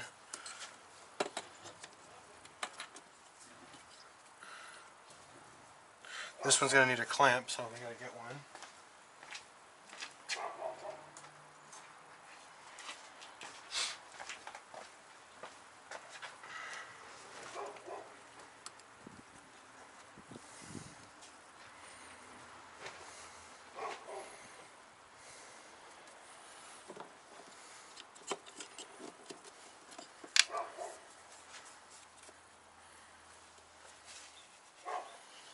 It's starting to look really good here. And then we have the hard line that goes on top of this.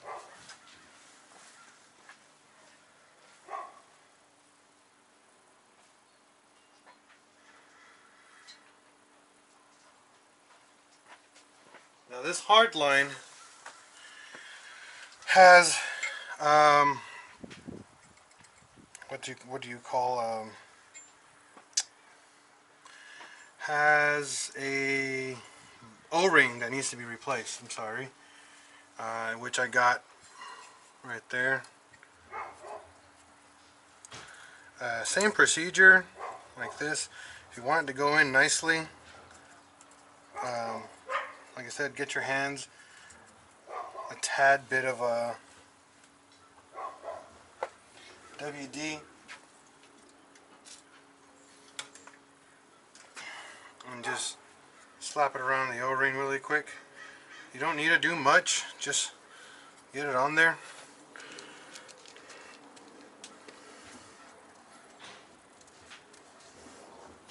And now this one's tricky because it goes in between all of this. Like this so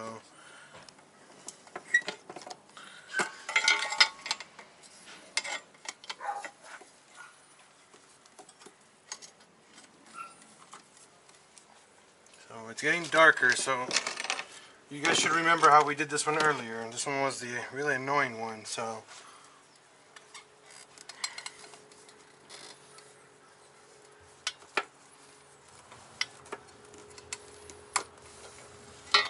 The same way it comes out, it's the same way it goes in. This is in the way.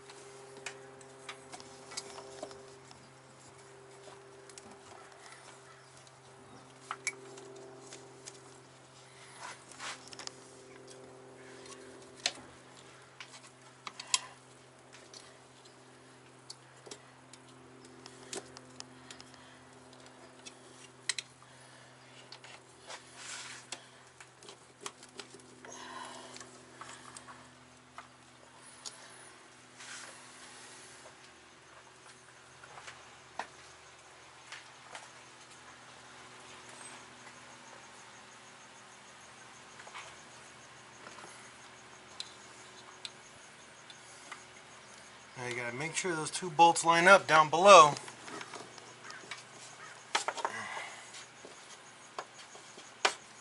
If not, you're gonna have to give it some wiggling and some manhandling.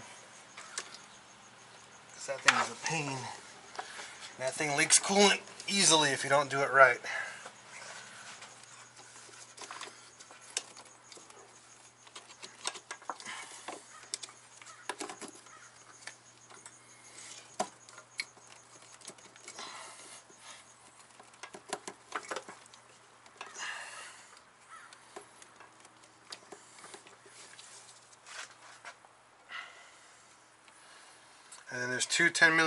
I go into that, you're done.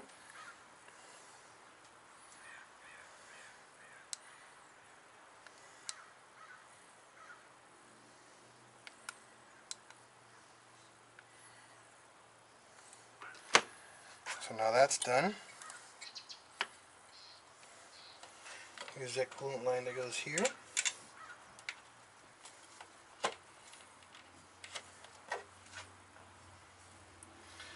Everything looks like it's going in place very, very nicely now.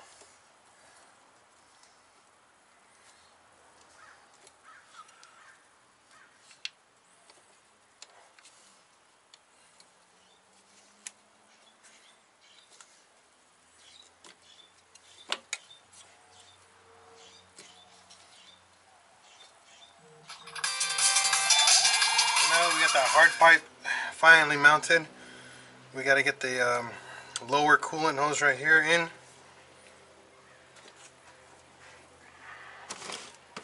Oh man, this is gonna be tricky because it's like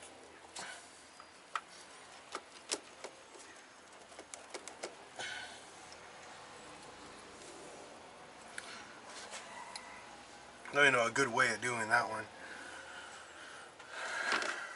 Let's see here. Let's pull this vacuum line out again.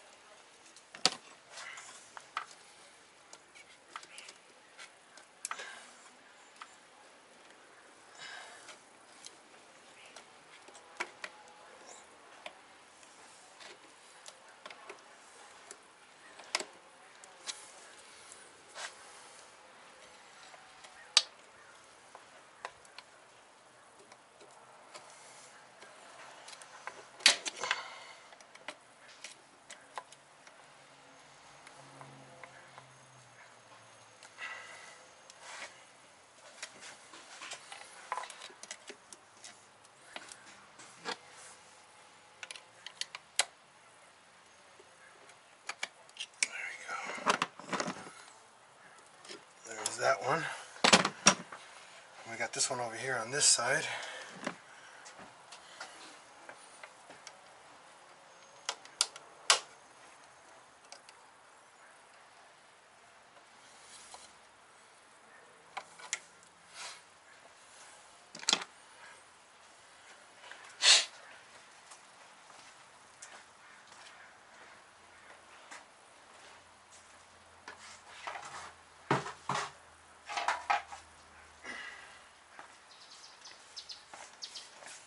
We have the upper coolant hose here.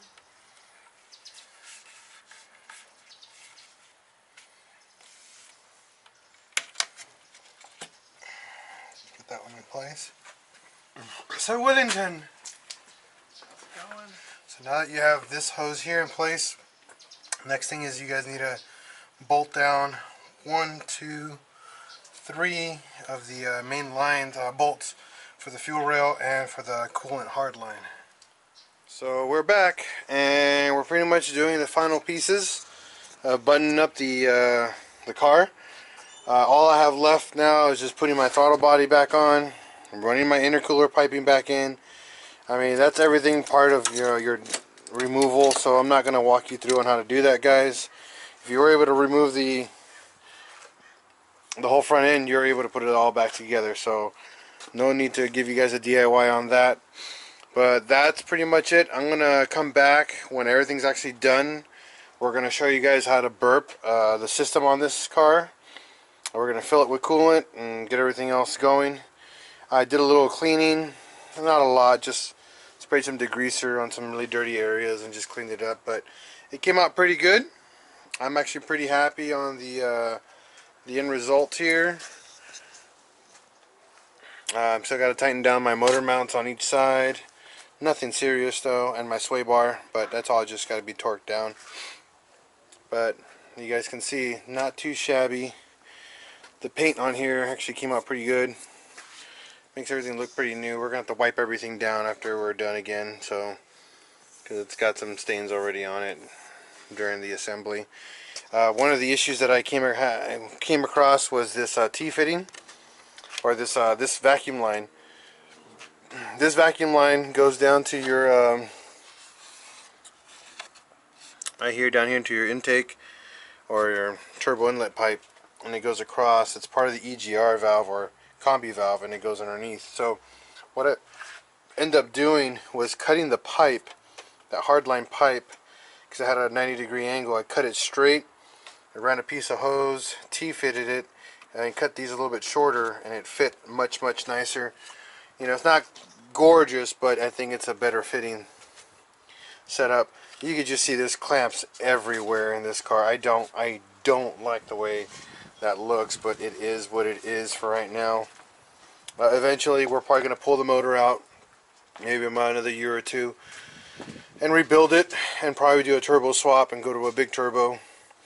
So stay tuned for that down the road. But for now, it's my wife's daily, so we got to make sure everything was fixed and tight because we want this thing to run really good again. Uh, you guys can see all the new vacuum lines here looking really good. All this is just really, really good and clean. Um, we fixed the coolant leak that was here. Um, brand new hose too. I was leaking down in the corner. I fixed it. Um, all the vacuum lines underneath are all nice and good. That metal line that fits down here, nice and tight. Uh, our brand new fuel lines that go from here all the way to the trunk. Those things are a pain uh, to install. I didn't make a DIY for that because it's not a very common part that fails. One reason why we failed because we hit a rock and it ripped the lines out. So those weren't fun to do at all. We installed our ABD uh, ABD intake. Uh, I've had for years. I picked this up from a friend a couple years ago. Uh, very very simple install. It looks like a piece of macaroni that goes straight down. I mean it's, simple. Um, the front core supports put on. This is the one I actually replaced uh, to my comparison to my old one. Um, this one actually had just a couple cracks on it, so I replaced it with this one that's apparently, I guess, better. I mean, it looks better. I don't know by much, but it's better. I got to take off the horns, put them back on. Just got to move over these rubber pieces here. Uh, the hood bracket here has to go back on. This one's a little tricky. You actually put this one over, this the bracket down, this one over, and you bolt it into place. Um, mount your headlights. Uh, that's pretty much it though. Everything else is, like I said, um, just reverse the process during your install. Uh, I, I don't have much to tell you guys, alright? Uh, I'll get back to you when we show you the rest of the process for the um, burp in the cooling system and looking for